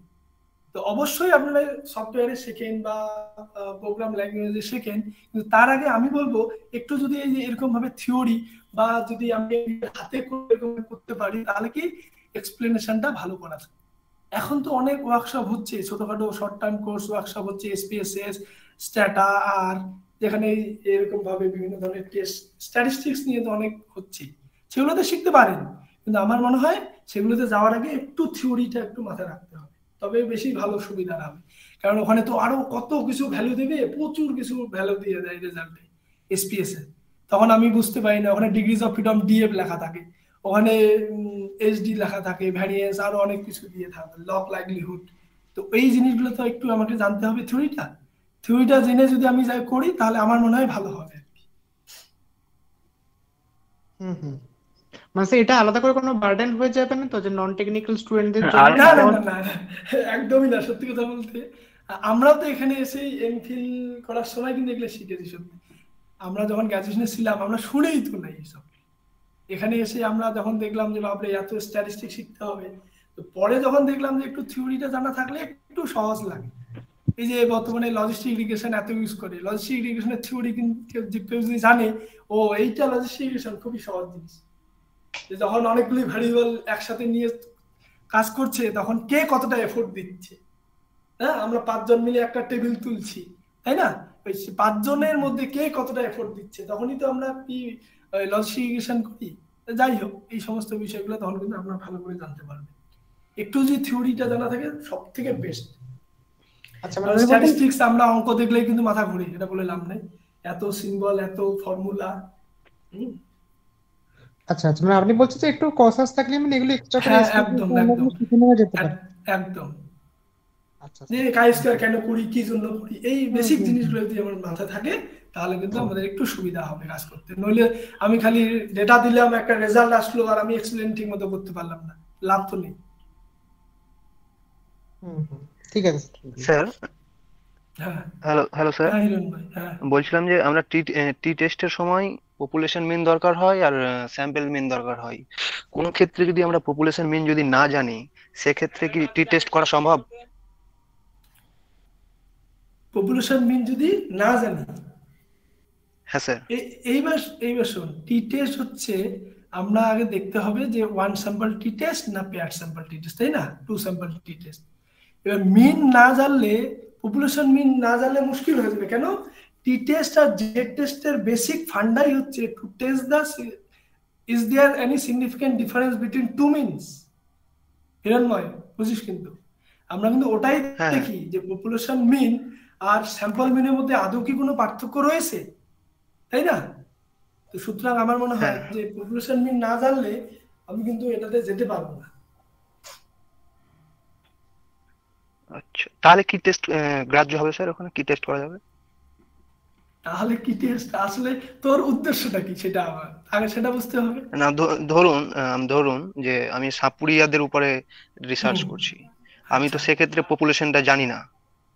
হ্যাঁ। আননন তাহলে যেটা আমি স্যাম্পল নিলাম এবং ওদের যে সোশিও ইকোনমিকটা আমি তুলে ধরছি এটা কীভাবে জাস্টিফাই করব? এইবার শোন বলি। ওই যে বললাম একটু আগে যে যে হাইপোথেসিস টেস্ট আমাকে যে করব, তার আগে আমাকে তো আবার প্রকল্পটা ঠিক মতো ধরতে হবে। তুই সাপুরিয়াদের কি দেখাতে চাচ্ছিস? সেটা আগে বল। সাপুরিয়াদের কার সাথে কি দেখাতে চাচ্ছিস? সেটা তো তোকে মাথায় রাখতে হবে, জিনিসটা বল। আমি এখনই একটু কি বললাম, যে আমি দুটো জায়গার এডুকেশন আর ম্যারিটাল স্ট্যাটাসের মধ্যে সম্পর্ক আছে কিনা সেটা দেখতে চাই। আগে এই জায়গাটা আমাকে ঠিক রাখতে হবে। যে আমি তুই কি দেখতে চাচ্ছিস? তুই এরকম হতে পারে দুটো হচ্ছে ক্লাস রুম রয়েছে, দুটো ক্লাসের হচ্ছে স্টুডেন্ট রয়েছে, তাই না? দুটো ক্লাসরুমেই হচ্ছে কোনো একটা টিচার লেকচার দেয়, তাই না? এবার তুই দেখতে চাচ্ছিস যে এফেক্টিভনেস এই রকম ক্ষেত্রে তুই করতে পারবি, কিন্তু তুই সাপুরিয়াদের এখানে কি জানতে চাচ্ছিস? তোকে তাকে এইটা ঠিক রাখতে হবে। এরকম নয় যে আমি রিসার্চ করছি জন্য আমি হাইপোথিস একটা ধরে নিলাম, তা কিন্তু নয়। তাই না? মানে উদ্দেশ্যটা ঠিক করে হাইপোথিসটা ধরতে হবে তাই তো? অবশ্যই। আগে তো রিসার্চ করছেন রিসার্চের মেইন প্রথমে রিসার্চ করছেন তোর প্রশ্নটা কি?